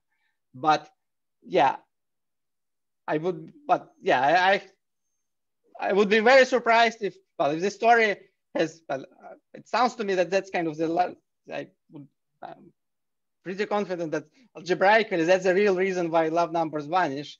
And it would, wouldn't make sense to me if this SL2R cross U1, which we're finding here, if it's different SL2R cross U1 from the one one finds in, in, in the extremal limit. So I think th there should be a relation between them, but it's, it's a little bit subtle for, for these reasons. Right.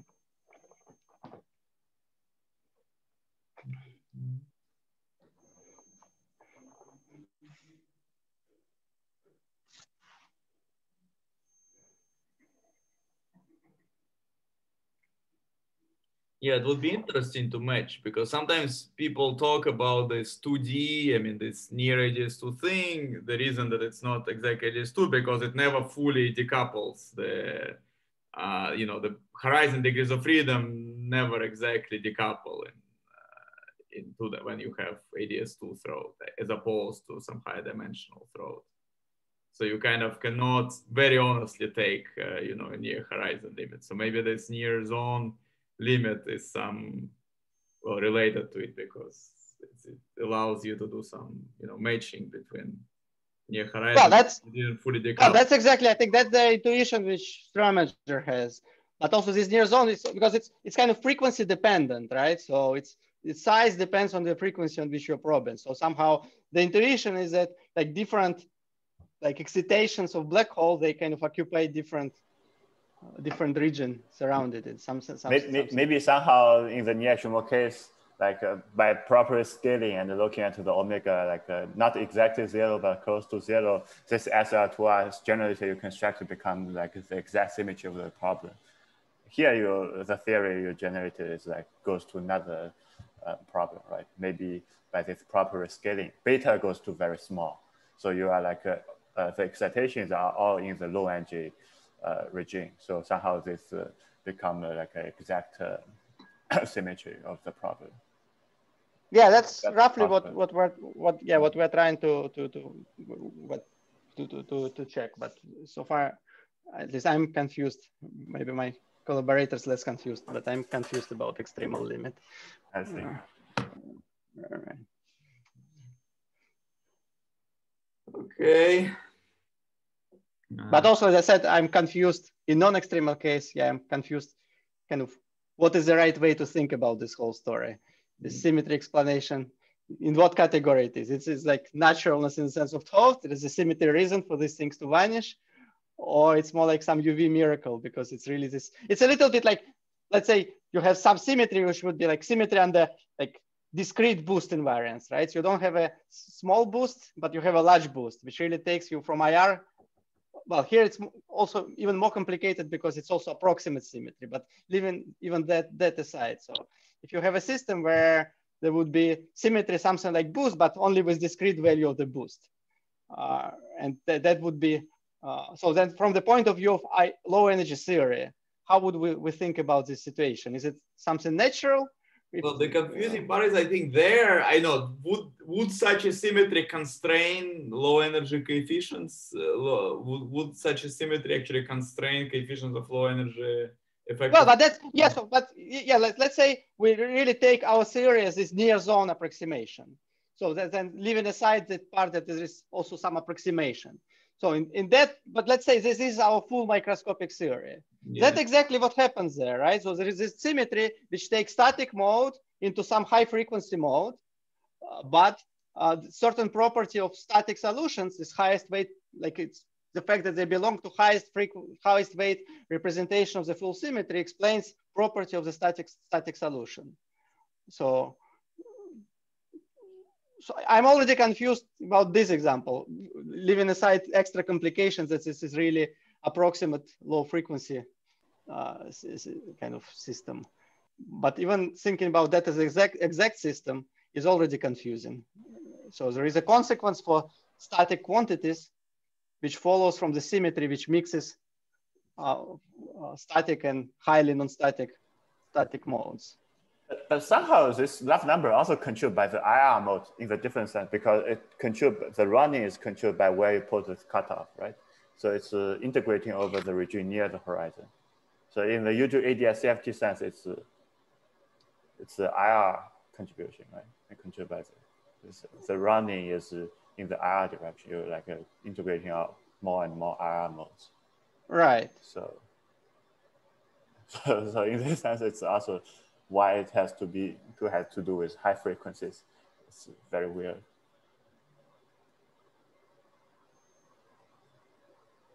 Yeah, I agree. So yeah, no, it would it would be nice. But you're saying it's sort of obvious that there will be no just interesting action of the symmetry on just low energy degrees of freedom. Like you cannot write some low energy action that on its own will have some interesting action of this of this symmetry. Yeah, I think so. Mm -hmm. Yeah, this is something process. Mm -hmm.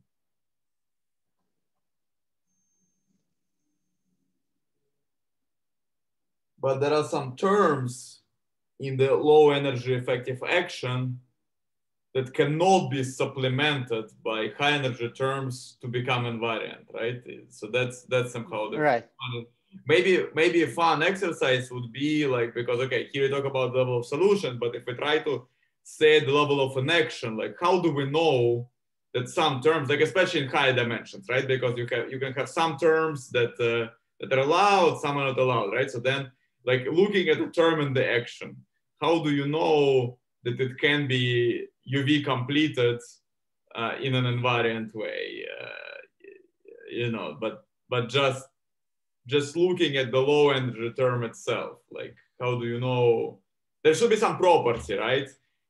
Well, for you it will be just roughly the properties that each, you know, uh, the, if the if the number of derivative is what uh, you know zero mod four zero mod d minus three then it's it can be UV completed and if it's not uh, it cannot right I mean, but but yeah can one say it somewhat more in a more usual symmetry way that there is some property of low energy terms that allows for a UV completion uh, and, uh, uh, and and so that would be maybe I don't know if it would look like a symmetry or not, but some criteria that's formulated uniquely in the EFT, uh, you know.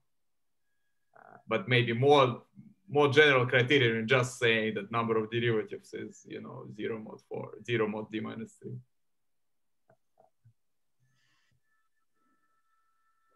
Mm -hmm. Isn't, isn't this a bit like the modular bootstrap where you can't tell just from the IR?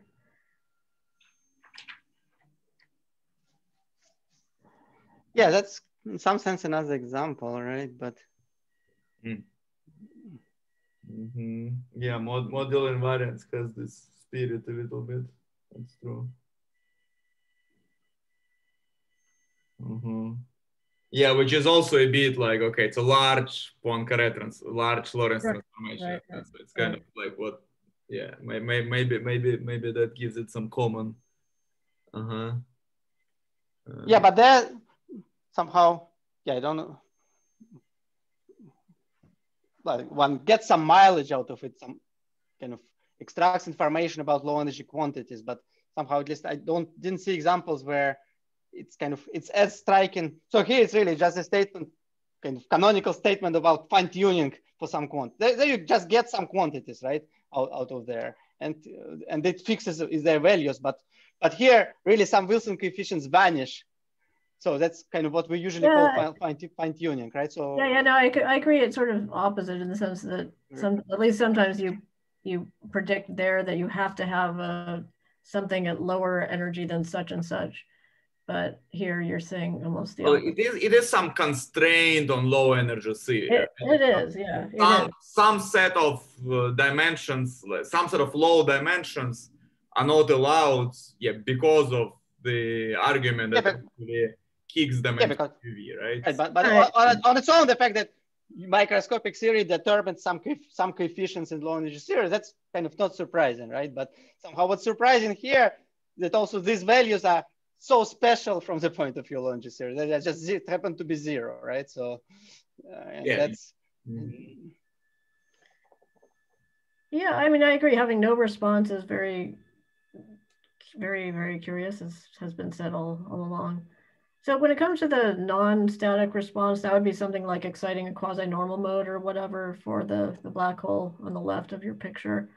And that is and that is not constrained, is that correct? Well, first of all, well, because there are different, yeah, yeah so that's something that I didn't say, but what happens is Starobinsky near zone approximation. So that actually in Starobinsky near zone approximation, all time dependent love numbers also vanish. So there, it's kind of, it's not a property of the full system, but if you in that near zone approximation, one finds that uh, there is no also no time dependent love. So it's really at the level of conservative response, kind of that system looks like point particle. So time dependent ones, they're not as well defined because they kind of depend on the definition of near zone approximation. Is that the status? Right, right, because near zone only calculates, produces exact answers for for static ones. And for actual black hole in Einstein theory, the uh, the time dependent ones are non-zero. But somehow if one takes, if one takes the Starobinsky near zone approximation, uh, that in the leading order in Starobinsky near zone approximation, uh, somehow all, all responses vanish. So uh, yeah, which suggests that somehow that, that, that near zone may be in some sense really mostly characterize system itself rather than uh, kind of uh, it's how it's embedded into. So what into, is there hope that this survives at a non-linear level? Say we do, I mean, we try to construct some theory that also contains some, you know, phi to the four terms or whatever.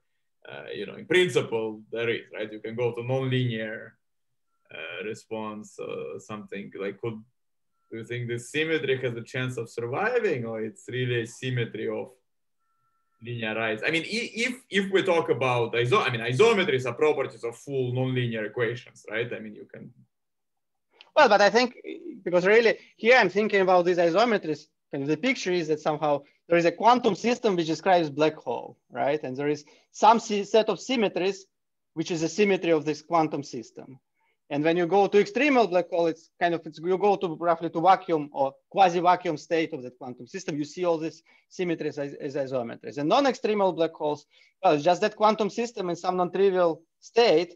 So still those the symmetries are there. They still can, they still uh, restrict properties of, of yeah, what, what is a general statement? But, because okay, we're not talking about some Goldstone. Usually when we have some symmetry, okay, we say, oh, it's non-linear realized like Goldstones, blah, blah, blah. Like here it's a bit because it's just some one-dimensional thing, right? It's a different. No, but also, yeah, because I think also here, it, as I was trying to say in the, in the beginning, I think it is my intuition that the symmetries we're talking about, we're really we're not probing just the quantum system itself, right? We're really probing how this quantum system, how is it glued to the rest of the system? How somehow the symmetry, which which is symmetry of quantum system itself, it also in this case it restricts how you glue that quantum system to, to, the, to the surrounding. Well, which makes sense because at the end of the day, it all comes from gravity, right? So it's not some it's not some random gluing to, to, to, to, to, to, to, to, to, to the rest. So I think it, it all makes sense, but it's more subtle. Yeah, but, but yeah. anyway, what's the general, what kind of constraints do you expect in this situation when you have a non-trivial uh, well, well when a state breaks the symmetry like you say oh there are still some constraints are there. So what is the list of what is the list of constraints that uh, persist if the state breaks the symmetry? Well but it's roughly that it still acts from one from solutions it, you get solutions right? So it's, uh, it's, it's, it's kind of, it has nothing to do with linearizing. I mean, said this way, it has nothing to do with linearizing the problem, no? I agree. Yeah, right.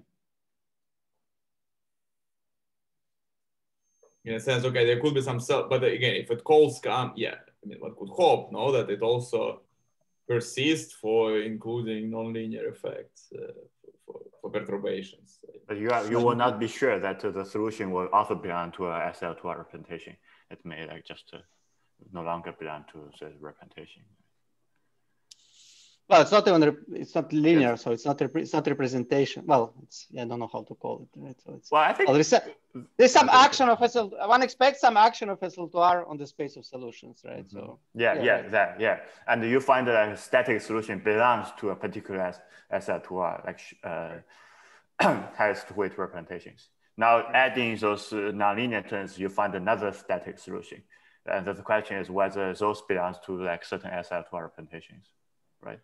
or other represent, representation for some other group. But just, I'm saying generically, it may not just not be true. It would be a miracle if it is. Yeah, right.